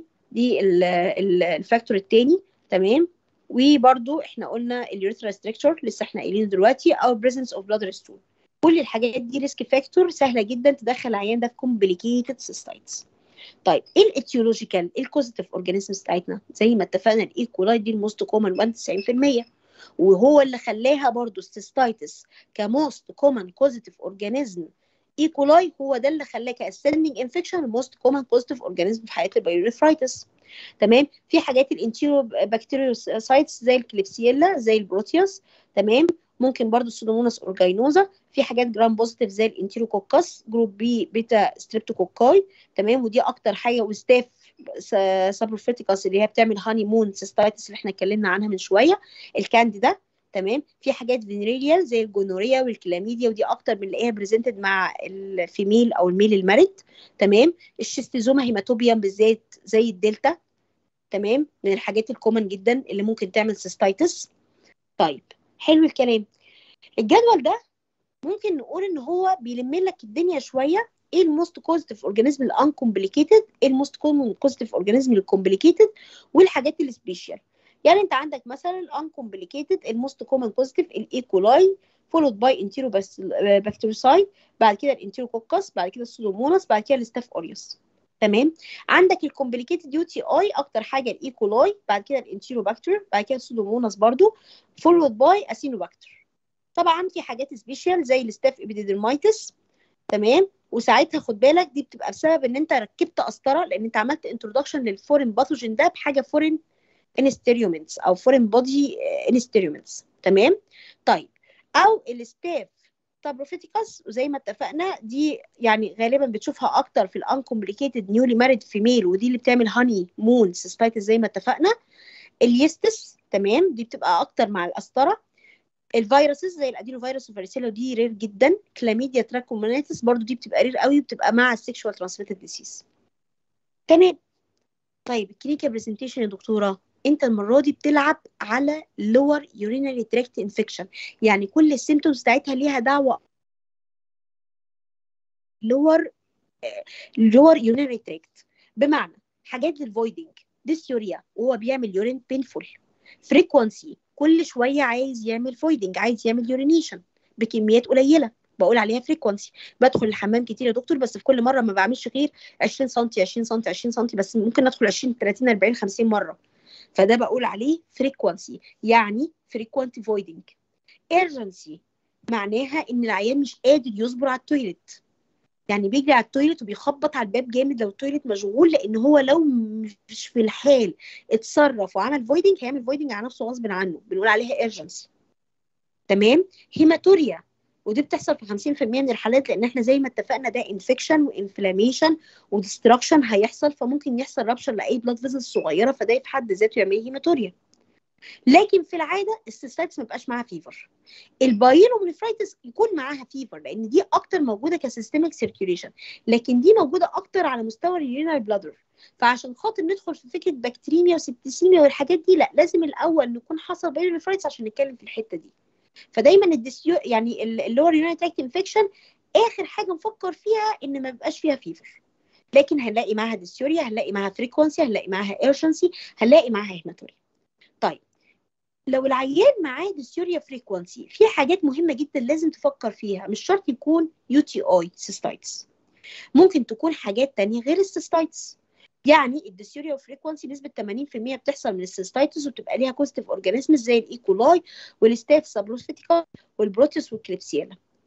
ممكن تحصل بنسبة 10 ل 15% ك urethritis بسبب inflammation في ال urethra مش cystitis تمام؟ زي في حالات ال gonorrhea أو ال herpes simplex virus أو ال Trichomonas كل الحاجات دي بتعمل urethritis وبرضه هتعمل presentation للعيان ده في صورة dysuria و frequency ممكن ال dysuria وال frequency تبقى بسبب vaginitis في ال female. لو هي عندها Candida infection أو Trichomonas vaginalis أو بنسبة أقل من 1% لأسباب تانية زي hypoestrogenism functional obstruction mechanical obstruction chemicals استخدمت حاجات معينة وهي بتعمل hygiene كويس للمنطقة دي فال chemicals في حد ذاتها irritative فهتعمل لها dysuria و frequency يبقى مش أي dysuria و frequency شرط أساسي ال cystitis بتبقى النسبة 80% cystitis لكن ممكن تكون ك presentation لحاجات تانية زي ال urethritis في ال male زي ال vaginitis في ال female زي أي حاجة تاني non infectious الناس اللي هم عندهم functional obstruction أو mechanical obstruction أو بتستخدم chemicals كتير عشان تعمل hygiene للمنطقة دي أو عندها hypoestrogenism الأستروجين بتاعها قليل. طيب إزاي أفرق بين ال cystitis وال urethritis لأن حضرتك دلوقتي ال dysuria وال frequency ما تزعليش مني هو بنسبة 80% ك cystitis و15% ك urethritis طبعا ك vaginitis هنعرفها. هتبقى سهلة. يعني أبسط حاجة هتقول لك ال female إن أنا بيبقى في مشكلة مثلا على مستوى الحاجات اللي هي كاميرا female تمام؟ ممكن الحاجات التانية non infectious تقول لك مثلا ك history إن أنا بستخدم chemicals كتير. لكن أنا مثلا لو جه عيان عنده dysuria frequency وعايزه أتأكد هو مشكلته cystitis أكتر ولا urethritis فلازم آخد بالي إن في حالات ال cystitis a sexual transmitted disease. تمام؟ لكن ال urethritis لازم تكون حاجات ال sexual transmitted disease ال more acute onset ده بيبقى أكتر مع ال cystitis ال severe symptoms بتبقى أكتر مع ال cystitis ال pain وال tenderness في ال suprapubic area بتبقى أكتر مع ال cystitis لكن ال urethritis اخرها urethral discharges لكن مش هتلاقي معاها لا pain ولا tenderness في ال suprapubic region ولا أي حاجة من الكلام دوت. هتيجي تعمل urine analysis لو في بكتيريا في ال urine bacteriuria فده cystitis لو ما فيش بكتيريا في ال urine urethritis طبعا في ال cystitis أكيد باعتبار إن في inflammation في ال urine bladder وال interstitium بتاع ال urine bladder متأثر وبدأ يحصل inflammation وال urine كله نازل هتلاقي ال urine بتاعك cloudy تمام؟ هتلاقي malodor ريحته وحشة جدا. ممكن يكون bloody لأن إحنا قلنا فيه hematuria. لكن الكلام ده مش هنشوفه في ال urethritis طيب إيه هو ال differential diagnosis لل cystitis يعني لو عيان عنده cystitis هل في حاجات تانية ممكن تعمل cystitis other than إن هي تكون infectious آه. traumatic لو عيانة female pregnant get pregnant وبعد كده ولدت في حد ذاته ال baby وهو بيعدي في ال birth canal بيعمل trauma محترمة لل bladder طبيعي يعني أو بتولد section أكيد الدكتور وهو بيفتح لازم هيوسع شوية ال bladder اللي بعيد عشان يفتح ال uterus عشان يطلع ال baby كل ده بيعرض ال bladder ل trauma كتير. فتيجي ال patient بعد ال labor تقول لك إيه؟ أنا باجي أعمل حمام بعيط. بيحصل dysuria عنيفة جدا. ده مش كده وبس ده urgency و frequency ده أنا ممكن أدخل الحمام ثلاث أربع مرات من بعد الولادة وأعمل كميات قليلة جدا. تيجي تقول لها إيه ده؟ احسن تكون cystitis لا يا باشا معلش دي حاجة اسمها traumatic cystitis مش infectious cystitis مش UTI دي خالص. دي traumatic cystitis دي واردة بعد ال patient ما تولد get delivery بتاع ال baby بتاعها يكون في trauma حصلت لأي سبب في ال urinal bladder فهتخلي في transient period 3 4 5 6 أيام لغاية ما ال patient تبقى well في cystitis بس بسبب ال trauma. لأن أنا عملت trauma لل bladder فعملت فيها cystitis بس مش infectious يعني تيجي تعمل urine analysis مش هتلاقي فيه أي signs تقول لك العيان ده فيه infection حصل لل urethra أساسا أو أو لل urinal bladder تمام؟ تاني حاجة ال interstitial nephritis طبعا interstitial sorry interstitial cystitis دي بتبقى سببها autoimmune process ال autoimmune process اللي كلنا عارفينها في جسمنا اللي بتحصل of unknown cause ما حدش بيبقى عارف ليها سبب غير ربنا سبحانه وتعالى. في ناس اجتهدت قالت لك ultraviolet ray في ناس قالت لك hormonal في ناس قالت لك genetic في ناس قالت لك environmental المهم ما حدش اتفق لغاية النهارده على سبب بس كله اتفق على حاجة واحدة انه of unknown etiology الجسم للأسف ك antibody بيهاجم نفسه بيهاجم كل ال self antigen اللي موجود في جسمك والسبب غير معروف. المفروض إن ال antibody بتاعك ما يتعرفش على ال self antigen ك foreign antigen ما يحاربوش.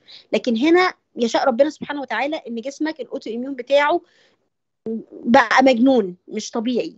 عنده self antigen زي ال foreign antigen فيبتدي ال antibody يهاجم أي حاجة فيها self antigen منها urinal bladder فيعمل عند العيان ده interstitial cystitis autoimmune interstitial cystitis لكن مش infectious يعني تيجي تعمل urine analysis لا هتلاقيه cloudy ولا في bacteriuria ولا في أي حاجة. تمام؟ ولا في causative organism أصلا حتى في ال culture هتطلع لك.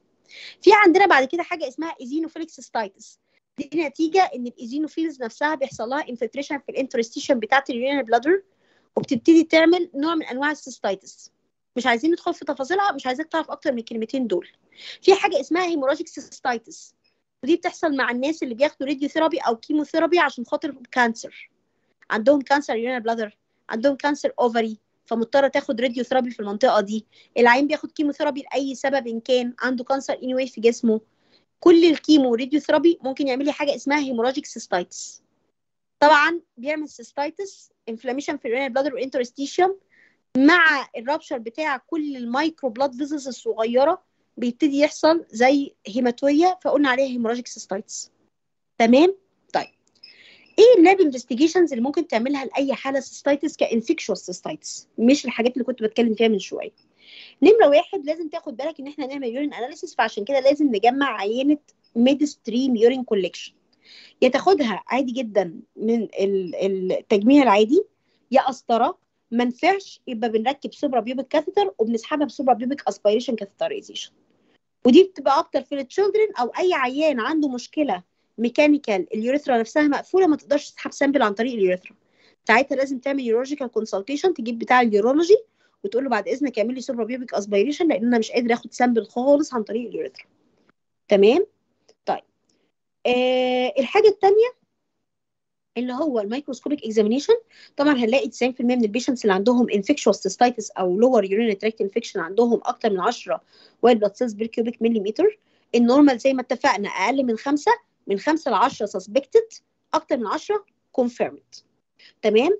طبعا بتعمل gram stain وبنعمل لها cultures على كذا ميديا عشان نشوف نوع ال organism اللي موجود. ممكن نعمل حاجات chemical screening زي ال urine dipstick عشان نشوف ال nitrite زي ما اتفقنا البكتيريا بتحول nitrate ل nitrite. تمام؟ آه ممكن نشوف برضه ال leukocyte esterase من الحاجات اللي specific بالنسبة لنا. urine culture دي من الحاجات المهمة جدا جدا جدا و important عشان تحدد نوع البكتيريا ونوع ال antimicrobial therapy اللي هيبقى sensitive لل patient ده. طبعا خد بالك من حاجة مهمة جدا أكتر من 100000 وجود colony factor unit للبكتيريا ده خلاص diagnostic confirmed ان ده typical UTI لو أقل من 100000 أو أقل من 1000 indicative لل cystitis لو ال patient symptomatic تاني indicative لل cystitis if the patient is symptomatic. يعني لو ال patient جاي لك symptomatic وبيشتكي وانت لقيت إن في فعلا موجود بك...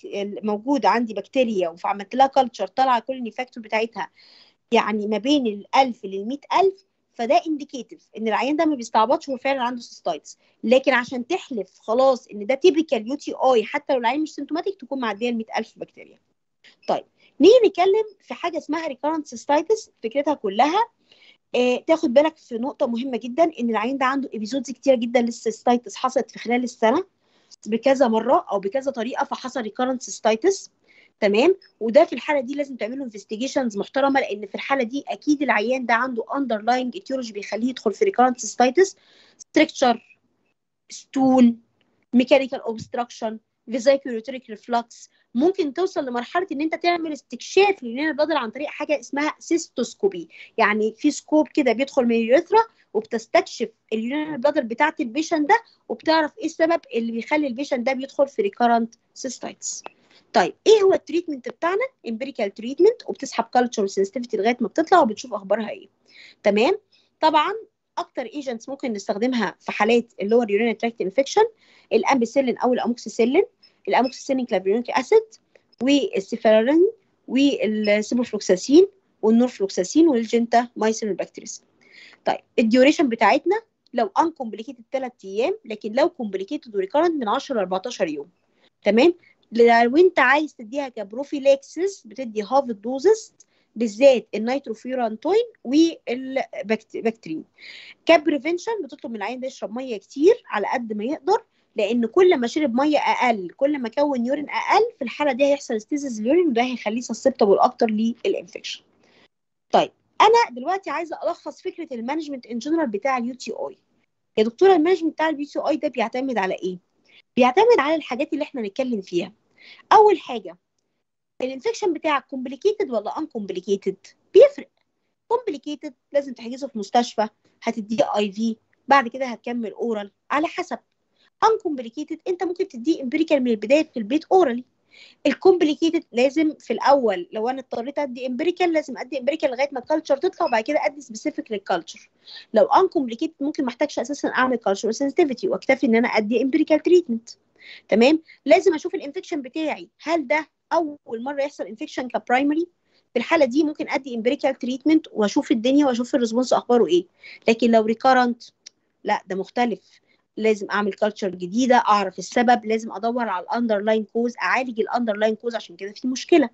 تمام؟ لازم برضو بيعتمد على وجود ال symptoms يعني أنا لسه بقول لك من شوية في حاجة اسمها asymptomatic bacteriuria يعني البكتيريا حرفيا معدية الرقم. ال definitive آه اتفضلي. وأنا لو هدي empirical antibiotic يبقى في الأول آخد منه عينة لو أنا عايزة أعمل culture لازم آخد عينة في الأول قبل ما أعمل أدي أدي أو على الأقل في أول ساعة من أي أول antibiotic بديه قبل ما يشتغل عشان العيان يستفيد صح بال culture تمام. تمام؟ طيب طبعا وجود ال symptoms يعني أنت مثلا لو العيان دخل بقاله ساعة وأنت اديتي مضاد حيوي مثلا في خلال الساعة دي وأنا رحتي مثلا كلمتيه فقول لك اسحبي culture مفيش مشكلة لو انت في خلال الساعة الأولانية من ال antibiotic سحبتي ال culture حتى لو كنت اديتي أول جرعة. تمام؟ لكن الصح الصح. أول ما عيان يدخل لك اسحبي على طول. urine و blood culture وابتدي ال antibiotic ال empirical اللي انت عايزاه. ولما تسحبي كمان المفروض تسحبي urine و blood وده الصح. تمام؟ يمكن إحنا مركزين urine أكتر كحاجة specific لل urinary symptoms بس الصح برضو بسحب احتياطي blood منها أعرف حصل bloodstream infection ولا لأ ولا الموضوع just على ال urinary system تمام؟ تمام. بيع- بيعتمد على ال presence of symptoms بيعتمد على ال bacterial count قد إيه ال number بتاعها موجود في ال urine تمام؟ نوع ال patient يعني لسه بقول لك من شوية ال pregnant لو asymptomatic bacteriuria لازم تاخد علاج. تمام؟ لكن لو عيان asymptomatic bacteriuria مش pregnant مش شرط تديله علاج. no role يعني مش محتاج therapy سيبه زي ما هو طالما هو asymptomatic حتى لو البكتيريا ال count بتاعه في ال urine معدي الرقم ال specific بتاعه مش مشكلة. تمام؟ لو child لو عيان immune compromised لو عيان diabetic لو عيان hospitalized لازم دول يدخلوا معايا في الحسبان في علاج ال antibiotic therapy بتاعي. طيب ال uncomplicated لو انت عندك low risk patient woman once upper أو lower بتدي 3 أيام antibiotic وما بتحتاجش تعمل أي urine culture تمام وال cure rate بتاعه بيوصل لغاية 94% وال choose بتاع ال antibiotic طبعا بيعتمد على ال susceptibility pattern بتاعك بتاعة البكتيريا. تمام؟ لأن لسه من شوية بقول لك لو العيان مثلا السونار بتاعه طالع فيه multiple abscesses هفكر في staph aureus لو عيانه newly married female هفكر في staph saprophyticus تمام؟ لو مثلا آه، عندنا مثلا إيه؟ for example يعني مفيش حاجة في دماغي. يعني أنت مثلا عندك say مثلا إيه آه، من ال choice اللي أنت بتديها الاموكسيسيلين عندك موجود تمام؟ آه، مثلا ال Bactrim أو الس- ال Septrin ده من حاجات قوية جدا. في عندك الكيفالوسبورين آه، ال nitrofurantoin في عندنا الكلوروكينيرون بس الكلوروكينيرون خد بالك إن أنت ما ينفعش تديها في أي pregnant patient لأن هي teratogenic تمام؟ وما ينفعش برضه تديها في أي child أقل من 18 سنة عشان بتأثر جامد جدا في ال development بتاع ال child in general تمام؟ ال quinolone in general كلها. طيب.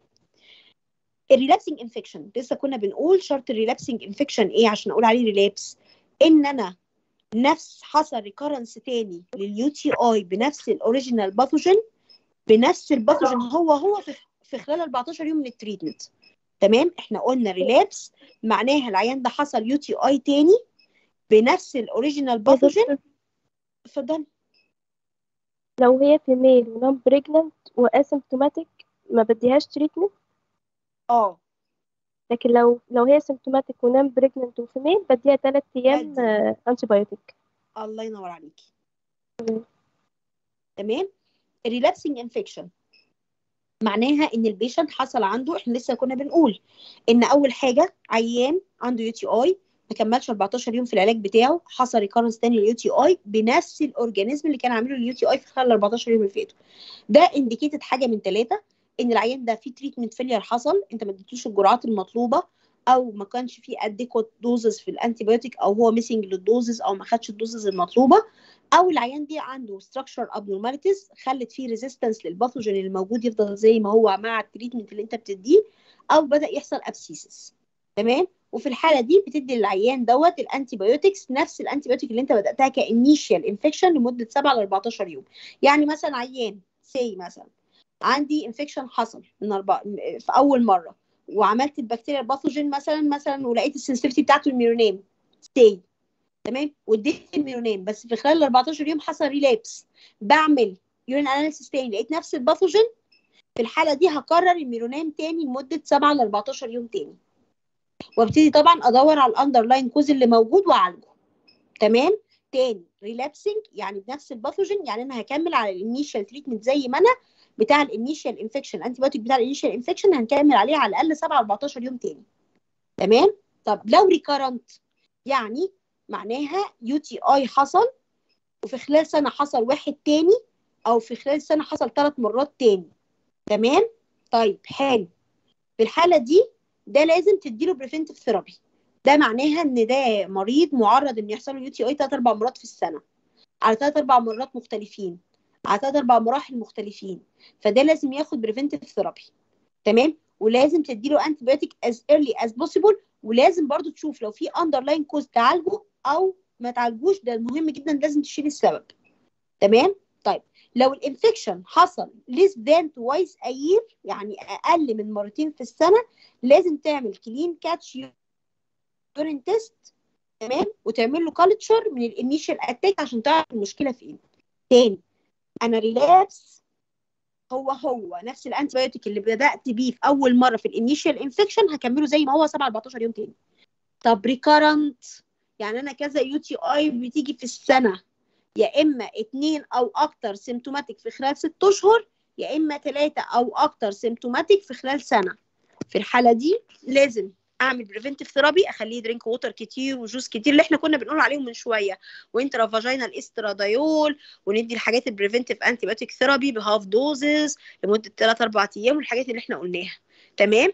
طيب ال antibiotic لازم يتاخد as soon as possible ولو ال infection بيحصل less than twice a year لازم آخد urine test sample clean واعمل لها culture وأشوف من ال initial attack في 3 أيام. طيب complicated UTI دي طبعا بتحصل في وجود أي risk factor زي ما اتفقنا catheterization الناس ال elderly أو ال child أو ال pregnant patient أو menopause في ال diabetes الناس اللي عندها spinal cord injury الناس ال comorbidity بالذات اللي هم ال pediatric patients والحاجات دي. طبعا أنت إمتى بت consult الدكتور في عيان complicated لو ال symptoms بتاعتك زي ما هي حصل change في ال symptoms بتاعتك pregnant woman أو في عيان immunocompromised العيان دوت بيجي له أكتر من أربعة أو خمسة infection في السنة. في عنده structural abnormality في previous kidney infection في history of infection with antibiotic resistant bacteria. ساعتها بس لازم ت consult أي دكتور في موضوع ال complicated UTI بتاعك. طيب ال prophylactic antibiotic طبعا إحنا بنستخدمه أكتر لل recurrent infection لأن ده بيقلل ال infection بتاعنا 95% ال optional لل patient اللي مش respond ل any other measures طبعا خد بالك إن أنت بتدي low dose antibiotic therapy لمدة 6 أشهر أو أكتر ودي بتشمل ال Bactrim أو ال nitrofurantoin أو ال cephalexin. هي دي ال prophylactic antibiotics اللي إحنا كنا بنتكلم عليها in general تمام؟ طيب. طبعا لسه من شوية كنا بنتكلم في ال pyelonephritis هو uncomplicated ولا moderate و severe و complicated uncomplicated معناها عيانك فيه symptoms قليلة من ال fever وال chills وال flank pain بس هو in general healthy مش pregnant female ما عندهاش أي comorbidities ما عندهاش structural أو ما عندوش structure أو functional abnormality وزي ما اتفقنا ده بياخد oral antibiotic معاك من 3 أيام لغاية 14 يوم. تمام؟ لكن لو عيانك moderate أو severe symptoms في الحالة دي لازم hospitalized لو هو بالذات sick طبعا العيان ده بياخد IV مده 3 5 أيام وبعد كده بتكمل ب oral therapy تمام؟ طبعا وخد بالك لو ال fever وال back pain بت continue بعد 72 ساعة في الحالة دي لازم تعمل screening عشان تشوف العيان ده في عنده أي underlying etiology زي ما إحنا قلنا ك abscess أو obstruction أو abnormality. ليه يا دكتورة بتقول لنا الكلام ده؟ خد بالك أنت دخلك عيان pyelonephritis و high grade fever حرارته 39 40 وانت بدأت antibiotic IV و72 ساعة والعيان ما تحسنش. لازم تدور ليه؟ لأن لو في abscess لازم تعمل لها drainage ما ينفعش تسيب ال abscess موجود كده. ساعتها لازم يتعمل drainage sonar guided يعني أنا دلوقتي لو عيان pyelonephritis داخل ومعاه high grade fever و very ill و toxic ووحش و severe symptoms وأنا حجزته. ومشيت ثلاث أيام على IV antibiotic محترمة. لقيت العيان ده ال fever مش بت subside وال back pain موجودة. ما ينفعش أجي أقول لا بص أنا هغير لك نوع مضاد الحيوي وأديك نوع أقوى. لا بص استنى ال culture أخبارها إيه؟ لا دور في مصيبة. مش معنى إن أنت اديت IV antibiotic وما استجابش فالعيب في ال IV antibiotic ما ممكن يكون المشكلة جوه العيان نفسه. ساعتها لازم تعمله سونار أو أي imaging CT سونار MRI تمام؟ radiography عادي. IVP اللي هو ال intravenous pyelography. لازم تصور العيان ده وتشوف المشكلة فين لأن هو ممكن يكون مشكلة abscess في abscess كتيرة جدا موجودة وال abscess دي must be drained under sonar guided. تنزله له بتاع السونار وقول له معلش دخل سرنجة وتحت جهاز الأشعة واسحب لي كل ال pus اللي موجود في ال abscess دي لأن العيان ما بيتحسنش. وال antibiotics مش هتجيب حاجة مع ال abscess دي. أو العيان ده يكون عنده obstruction في obstruction موجود ومخلي ال infection هيفضل موجود طول ما ال obstruction موجود ومحتاج تتعامل مع ال obstruction ده بسرعة. تمام؟ أو في abnormality موجودة مخلية ال urine في حالة stasis 24 ساعة ومهما نديت IV antibiotics هيفضل العيان زي ما هو critically ill ففي حاجات ما ينفعش إن أنا مجرد أدي IV antibiotic والعيان ما اتحسنش أروح حاطة إيدي على خدي أقول طب استنوا ال culture طب معلش نغير مضاد حيوي جديد. العيان مش لعبة. وما ينفعش حتى وأنا بطلع السلم اطلع درجتين ثلاثة يعني أنا مثلا أول درجة عندي مثلا مثلا ceftriaxone تاني درجة عندي ممكن أدي ال Augmentin تالت درجة Meronem رابع درجة ال Zavicefta الحاجات اللي بتقاوم البكتيريا. ما ينفعش أروح نطة مرة واحدة من ال ceftriaxone لل Zavicefta. لازم آخد درجه درجة أطلع درجه درجة تمام؟ وعشان أطلع درجه درجة لازم أدي proper doses proper days of antibiotic therapy يعني ما ينفعش أدي العيان يومين ثلاثة الاقيه ما اتحسنش أروح م shift ه على antibiotic تاني. يومين ثلاثة أروح أ shift على antibiotic الثالث يومين ثلاثة أصلا ما اتحسنش أ shift على antibiotic الرابع ما ينفعش. لازم على الأقل maximum ياخد العيان حظه من ال antibiotic سبعة أو 10 أيام. ولو ما حصلش respond ساعتها بس أقول هل هغير ولا أدور على ال underlying cause وعشان كده إحنا قلنا أول ثلاث أيام ما لقيتش فيه أي استجابة اوتوماتيك أروح بعت على طول عاملة investigation ادور radiology واعرف العيان ده مشكلته إيه أو إيه السبب اللي خلى العيان ده مش بي respond لل antibiotic therapy تمام؟ طبعا عندنا pregnant woman زي ما اتفقنا هي high risk لل UTI بال complication بتاعته ولازم تبقى screened على طول لل UTI ولو فيها asymptomatic bacteriuria لازم تتعالج منه as early as possible. طبعا ال recommended antibiotics اللي موجودة عندها الاموكسيسيلين أو الامبيسيلين أو كيفالوسبورين وزي ما اتفقنا ال nitrofurantoin ده بيبقى contraindicated في ال late pregnancy وال quinolone ما ينفعش تستخدمهم ابدا في أي pregnant patient تمام؟ زي ما اتفقنا symptomatic bacteriuria في أي pregnant patient ليها risk 30% يحصل لها acute pyelonephritis في ال second أو ال third trimester وعشان كده مهم جدا تاخد بالك إن أنت لازم تديها antibiotic therapy وأي acute cystitis في أثناء ال pregnancy بتحتاج على الأقل سبعة أيام من ال antibiotic therapy ال diabetic patient طبعا دول عندهم more frequent more complication أكتر لل severe urinary tract infection ودايما بي considered على إن هم complicated UTI دول بياخدوا علاج على الأقل من 7 ل 14 يوم بال antibiotic حتى لو كان ال infection بتاعهم مش severe لأن في حد ذاته ال diabetes من ال good media for complication of UTI infection طبعا ال urethritis في المن most important causes Neisseria gonorrhoeae أو Chlamydia trachomatis ودول أكتر حاجة ممكن تجيب معاهم ال ceftriaxone doxycycline وال azithromycin تمام؟ طبعا ومهم جدا تاخد بالك العيانين دول بالذات تتأكد من ال sexual transmitted diseases دي بتبقى ال most common causes لل urethritis عندهم. طب الناس اللي عندها vesicoureteric reflux مهم جدا إن أنت تاخد بالك إن دول common أكتر في ال children بس دي واردة في أي حد تاني. بيحصل فيها reflux لل urine backward يعني يرجع لورا. بدل ما هو بيمشي من الكدني للرينال بيلفس لليوريتر لليورينال بلادر لليوريثرا لا ده بيرجع من اليوريثرا لليورينال بلادر لليوريتر للكدني. فده قلنا عليه vesicoureteric reflux تمام؟ مهم جدا بنديله long antibiotic therapy وممكن نحتاج نعمل surgery لو في surgical correction لل vesicoureteric reflux اللي موجود دوت. تمام؟ طبعا لو في acute infection أول حاجة من يومين في أول يومين أو أربع أيام بندي ال cefepime وال ceftriaxone وال gentamicin تمام؟ و followed by oral بنكمل بال amoxicillin clavulanic acid أو ال Bactrim تمام؟ طيب. في عندي بعد كده الناس ال catheterized الناس اللي مركبه قسطره ال over the time غصب عنها bedridden عنده stroke عنده neurogenic bladder ما يقدرش يعمل urine لوحده عنده مشكلة في ال voiding كل الناس ديت indicated إن هي على طول تبقى مركبة قسطره permanent في الحالة دي لازم أعمل preventive measures when using catheter. بمعنى نمرة واحد لازم ال catheter بتاعتي ما استخدمهاش غير لما تبقى absolutely necessary. يعني لو عيانك ينفع تركب له external catheter يبقى أفضل اللي هي ال condom اللي هو القسطره الخارجية. قمع كده بيبقى حوالين ال external genitalia بتاعته هو اللي بيعمل voiding لوحده. أنت مش بتدخل قسطره لجوه تمام؟ أو تجيب له مبولة في السرير ويعمل فيها. أو كرسي بمقعد. أول ما يجي عايز يعمل بدل ما أدخله الحمام أقعده على الكرسي بالمقعد ده وأقول له اعمل في الكرسي ده براحتك.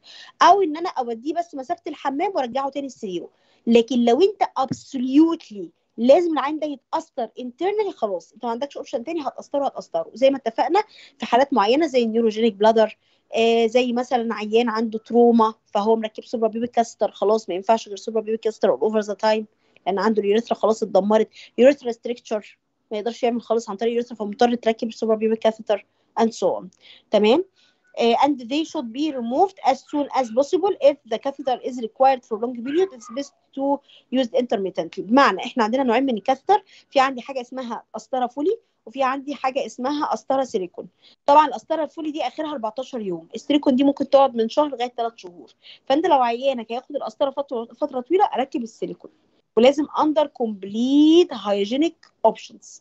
اعقم ببتادين وكحول واعقم القسطره نفسها وأبقى لابسة sterile gloves ولازم أعمل sterilization كويس لل area اللي أنا هشتغل عليها وأدخل القسطره بعد ما أعملها هي كمان sterilization تمام؟ طيب تاني حاجة replace every two weeks طبعا خد بالك لو أنت مركب قسطرة Foley هتغيرها كل أسبوعين لكن لو قسطرة سيليكون ممكن نغيرها على الأقل كل شهر أو كل 3 أشهر. عشان تقلل ال risk بتاع ال infection وال irritation بتاع ال bladder تمام؟ With antibiotic use between replacements. يعني كل ما تيجي تشيل القسطرة القديمة ادي 3 4 أيام antibiotic وركب قسطرة جديدة. لو أنت محتاج لازم تركب القسطرة ضروري ما ينفعش تشيلها. تمام؟ daily hygiene لازم تعمل hygiene كويس للقسطرة كل يوم وتستخدم closed infection system عشان خاطر ال infection antibiotic use for prophylaxis is rarely recommended since a high bacterial count prevent present and the patients do not develop symptomatic UTI بمعنى إن أنت لازم تستخدم أي antibiotic prophylaxis. لا ده rarely جدا يا جماعة بيستخدم في حالات ال catheter insertion لأن دايما ال high bacterial counts بتبقى موجودة وال patients نفسهم مش بيدخلوا في symptomatic UTI زي ما أنت متخيل. فأنت عشان تدخل في فكرة prophylactic antibiotic لعيان مستخدم قسطره دي جدا. أهم حاجة تعمل hygiene كويس ولو العيان develop UTI هتضطر ساعتها تشيل القسطره وتبتدي ب antibiotic therapy مش prophylaxis تمام؟ طيب. عموما ال catheterized patients ممكن يحصل عندهم UTI أو بيبقى عندهم risk لل sepsis لازم يبقوا treated في كل episode بال antibiotics وتشيل القسطرة في الوقت ده زي ما إحنا اتفقنا من شوية. ال associated organisms لازم دايما تاخد بالك إن أنت هتعمل culture في كل مرة وتتأكد من نوع ال organism عشان تاخد ال antibiotic therapy المناسب لل organism اللي هو موجود دوت. تمام؟ آه طبعا ال antibiotic therapy has little benefit if the catheter is to remain in place ما ينفعش تدي antibiotic وتسيب القسطره زي ما هي لأن أنت في الحالة دي ما فيش أي لازمة لل antibiotic اللي بتديه لأن أنت سايب ال organism أو ال infection زي ما هو. دي واحدة دكاترة. بحبك جدا.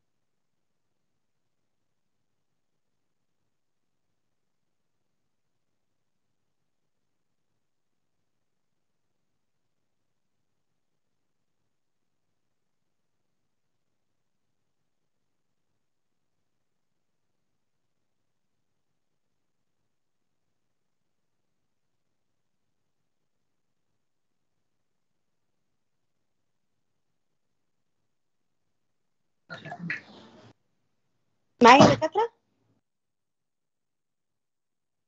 دكاترة معايا؟ معلش أنا بعتذر لكم تاني أنا آسفة جدا. تمام. آه الفكرة كلها إن أنت بعد كده بتكمل زي ما إحنا اتفقنا ب oral treatment بال amoxicillin clavulanic acid أو ال Bactrim تمام؟ طيب. آه وزي ما اتفقنا لو حصل once حصل ال infection لا انت في الحالة دي لازم تدي antibiotic therapy ولمده 7 ل 14 يوم لكن ما ينفعش حاجة اسمها تدي antibiotic من غير ما تشيل القسطره لأن انت أساسا سايب ال good media أو ال initiating factor أو ال initiating organism موجود وانت بتدي antibiotic عليه. فانت already يعني ال- المشكلة اللي عملت الليلة هي موجودة. لا شيل القسطره وادي antibiotic therapy كويس وارجع ركب القسطره بعد أربع أو خمس أيام تاني قسطره نظيفة مفيش مشكلة بعد ما تبتدي ال antibiotic therapy. لكن وجود القسطره نفسها القديمة مع بداية ال antibiotic therapy وإنت ما شلتش القسطره القديمة إنت كده ما فيش أي role أصلا لل treatment اللي إنت بتديه في وجود القسطره معايا يا دكاترة؟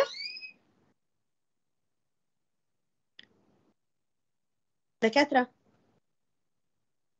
أيوه يا دكتور آه معاك يا دكتور. معايا؟ تمام. آه المناسبة بقى الناس اللي كانت بتسأل الناس اللي كانت بتسألني على التي ام بي اس ام إكس اللي هو trimethoprim sulfamethoxazole ده نوع انواع ال antibiotics المهمة اللي كنا بنستخدمه اللي هو بيقولوا عليه Bactrim تمام؟ ك bactericidal effect. اللي هو كان بيبقى فيه تقريبا نسبة واحد trimethoprim لخمسة سلفا آه، methoxazole حتى إحنا دايما بنقول منتجات السلفا. فاكرينه في ال pharma؟ trimethoprim sulfamethoxazole. معايا يا دكاترة؟ اللي كانوا بيسألوا على تي ام بي اس ام إكس ده أساسا عبارة عن اتنين antimicrobial agent مع بعض. اللي هم ال trimoxazole تمام؟ ومعاه السلفا. ال trimethoprim ومعاه ال sulfamethoxazole. تمام؟ اللي هو ال trade name بتاعه أساسا أو ال brand name مشهور عندنا في السوق Bactrim ده بيبقى عبارة عن اتنين antibiotics مع بعض بس بيبقى فيه تركيز تقريبا واحد لخمسة. أعتقد اللي هو كان التركيز الواحد اللي هو ال trimethoprim والخمسة اللي هو ال sulfamethoxazole تمام؟ يا دكتور. أنتوا المفروض أخدتوه في الفارما بس مش عارفة أنتوا فاكرين ولا لأ. دكاترة معايا؟ آه يا دكتور. تمام؟ عشان بس إيه الناس اللي كانت بتسألني عليه عشان اوضحه لهم. أنا أتمنى ما أكونش طولت عليكم لأن في ناس كانت بتشتكي إن أنا بطول عليهم في الشرح. المهم إن إحنا نكون فهمنا. يا دكتور عندي معايا يا دكاترة؟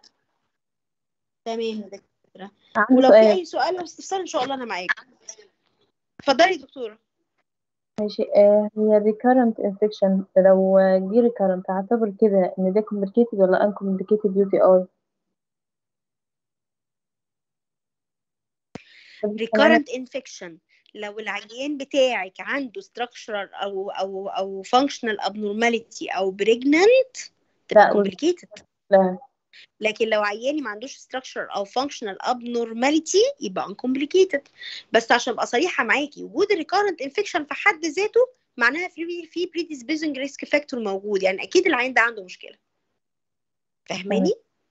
ما هو ما يحصلش recurrent infection غير لو في مشكلة موجودة اتعالجت وما اتعالجتش المشكلة فيحصل infection تاني. هو أنا كده؟ يبقى اعتبره complicated بالظبط. بصي يا دكتوره عشان ما تتوهيش نفسك إحنا لما بنيجي نقسم ال UTI بنقسمها كده لو على ال site upper و lower upper pyelonephritis تمام؟ lower cystitis urethritis prostatitis epididymitis تمام؟ لو على إن هي في structure أو congenital abnormality أو functional abnormality أو pregnant patient complicated و uncomplicated. وصلت لك؟ معايا يا دكتورة ولا لأ؟ أيوه مع حضرتك. تمام. طب يا دكتور وصلت لك؟ تمام. آه لو أنا مثلا عايزه اشوفها على أساس ان هي ال infection رقم كام فانا ممكن نقسمها لفكره recurrent ولا relapse ولا reinfection تمام يا دكتور. طيب. initial infection تمام. في المقارنة بين ال cystitis وال urethritis ليه في ال cystitis في بكتيريا وال urethritis مفيش رغم إن هما الاتنين infection يعني. إيه اللي يمنع إن هنا يظهر وهنا لأ؟ تاني تاني. ال urethritis لأن ال urethritis بتبقى أكتر sexual transmitted أكتر. معاكي إن ممكن يكون فيها بكتيريا بس ال- الاكتر مع الحاجات ال sexual transmitted organisms فمش سهل إن هي تظهر في ال urine. فاهماني؟ بمعنى أصح اللي هو وجودها في المنطقة في ال urethra نفسها بتبقى شورت لكن في ال bladder بيبقى فيه stasis فترة طويلة لل organism فبيبقى multiplied ما بيحصل multiplication لل organisms في ال urinal bladder لكن في. ال urethra مفيش فرصة أساسا يحصل multiplication لل organisms عشان كده دايما هتلاقي في ال cystitis ال organisms معدية ال 100000 لكن في ال urethritis صعب لأن مفيش مكان حتى يحصل فيه stasis أصلا و multiplication لل organisms في المكان ده. وصلتك؟ آه وصل طب يا دكتور آخر سؤال. هو في عندي عيانة uncomplicated UTI و symptomatic ماشي تمام. جات لي العيادة فأنا هعالجها. في الأول هاخد culture وأسيبها وأسيبها عادي كده بدون علاج وبعد ال culture أديها علاج لثلاث لا. أيام ثلاث أيام. ولا symptomatic ابتدي خدي culture وابتدي empirical لغاية ما ال culture بتاعتك تطلع. يعني أنا هبتدي empirical لحد ال culture وبعد ال culture ثلاث أيام. بالظبط. لكن مش دلوقتي ال total. ال culture زمان كانت ال culture بتاخد 10 أيام دلوقتي ال culture حديثة ما بتاخدش أكتر من 3 أيام. تمام. يبقى يبقى هنا كانت ثلاث أيام يقصد بها بعد ال culture مش ال total duration بالظبط. تمام. شكرا جدا. يا دكتور. اتفضلي. يا دكتور ممكن هتوضحي الجزء بتاع ال catheter if catheter is required for long period. It is best to be used intermittently. إحنا عندنا ال catheter فيه حالتين. ممكن تحتاجي تستخدمي ال catheter لل long period يعني فترة طويلة جدا جدا جدا اللي هو العيان ما ينفعش يفرق القسطره العيان ده للأسف مشكلته ما ينفعش يقعد من غير قسطره وممكن في حالات تاني بتعمليها intermittent بمعنى إن القسطره ممكن تاخديها فترة قليلة مثلا فترة ما هو مثلا محجوز في المستشفى خمس أيام ست أيام 10 أيام. تمام؟ لو long period prolonged دي لازم بقى تاخدي نوع من أنواع القسطره اللي ممكن يستحمل أو يقلل ال risk بتاع ال infection شوية زي السيليكون. تقعدي مركباها مثلا القسطرة ال Foley دي بتقعد أسبوعين لثلاث أسابيع. القسطرة السيليكون دي ممكن تقعد من شهر لثلاث شهور. فإحنا دايما بنحبذ أكتر إن إحنا بنركب السيليكون. تمام؟ ولازم كل شهر أو ثلاث شهور بتشيلي القسطرة بتسيبي العيان خمس ست أيام على الأقل من غير قسطرة ولازم الكلام ده بيفهموه أهل العيان كويس. ممكن في الفترة دي تتأكدي في UTI موجود ولا لأ؟ لو في UTI ابتدي antibiotic لو مفيش UTI مفيش مشكلة لو انت ما بداتيش antibiotic وترجعي تركبي قسطرة جديدة. ليه؟ لأن انت لو سبتي العيان ده من غير قسطرة انت ممكن فعلا تلبسيه كابلكس حفاضات بس المشكلة في إيه؟ إن العيان دوت بيبقى عامل زي ال baby الصغير. يعني ما تزعليش مني الطفل الصغير ده لما بيقعد لابس البامبرز ال quality نفسها بتاعت ال- ال napkin بتاعت البامبرز مع التشينجز مع مع مع والكريمات ومش عارفة إيه بتخلي العيان ده بيدخل معاكي في infection و inflammation وبيبتدي يحصل dermatitis عنيفة جدا وبتقعدي تدي كريمات ومش عارفة إيه الكلام دوت. طبعا على مستوى ال adult انت صعب أصلا تقعدي تغيري ال napkin كل شوية فاهميني؟ يعني موضوع ال urination ده بيحتاج تغيري ال napkin على الأقل بالنسبة لل adult أو ال elderly مثلا ست سبع ثمان مرات في اليوم عكس ال defecation. ال defecation ده ممكن يعمل مرة الصبح ومرة بالليل مرتين الصبح ومرة بالليل يعني بكتير ثلاث مرات في اليوم تغيري ال napkin. لكن لو انت بس مركبة ال napkin for urination ممكن نحتاج نغير ال napkin كل ساعتين ثلاثة نمرة واحد ده حد كبير قوي ووزنه ما شاء الله كبير فانت صعب ان انت تغيري له مش زي الطفل الصغير. نمرة اتنين أساسا ال urine لما بيعمل على نفسه وبيقعد فترة contact بال skin هيعمله dermatitis فانت حتى لو مثلا بتغيري كل ساعتين ثلاثة وارد جدا يدخل ال patient منك في dermatitis ممكن تستحملي الوضع اللي إحنا بنتكلم فيه يومين ثلاثة على ال napkin خمس أيام بكتير لكن صعب تستحملي شهر اتنين تلاتة. فعشان كده أنا بركب القسطرة على قد ما بيقدر يركبها. مثلا السيليكون بتقعد من شهر لثلاث شهور قعدت ثلاث شهور عايز أغير القسطرة دي مع تغيير القسطرة. مش معنى كده إن أنا اشيل القسطرة القديمة وأركب الجديدة على طول. لا هو الصح إن أنا بشيل القديمة وبستنى على الأقل أربع خمس أيام من غير قسطرة. في الحالة دي بضطر أرجع لفكرة ال napkin اللي أنا بحكي لكم عليها وأرجع أركب القسطرة الجديدة. وصلت لكم؟ ولا السؤال مش لسه ما عرفتش اجاوب على السؤال اللي حضرتك قصدك عليه. طيب لو ال patient هيقعد فترة صغيرة على القسطرة إيه اللي أنا هعمله؟ ما فيش مشكلة. في الحالة دي أركبها وأتابع العيان ولازم أبقى complete hygiene بس لازم وارد آخد بالي أنا والعيان إن ممكن يدخل في كا- في catheter associated infection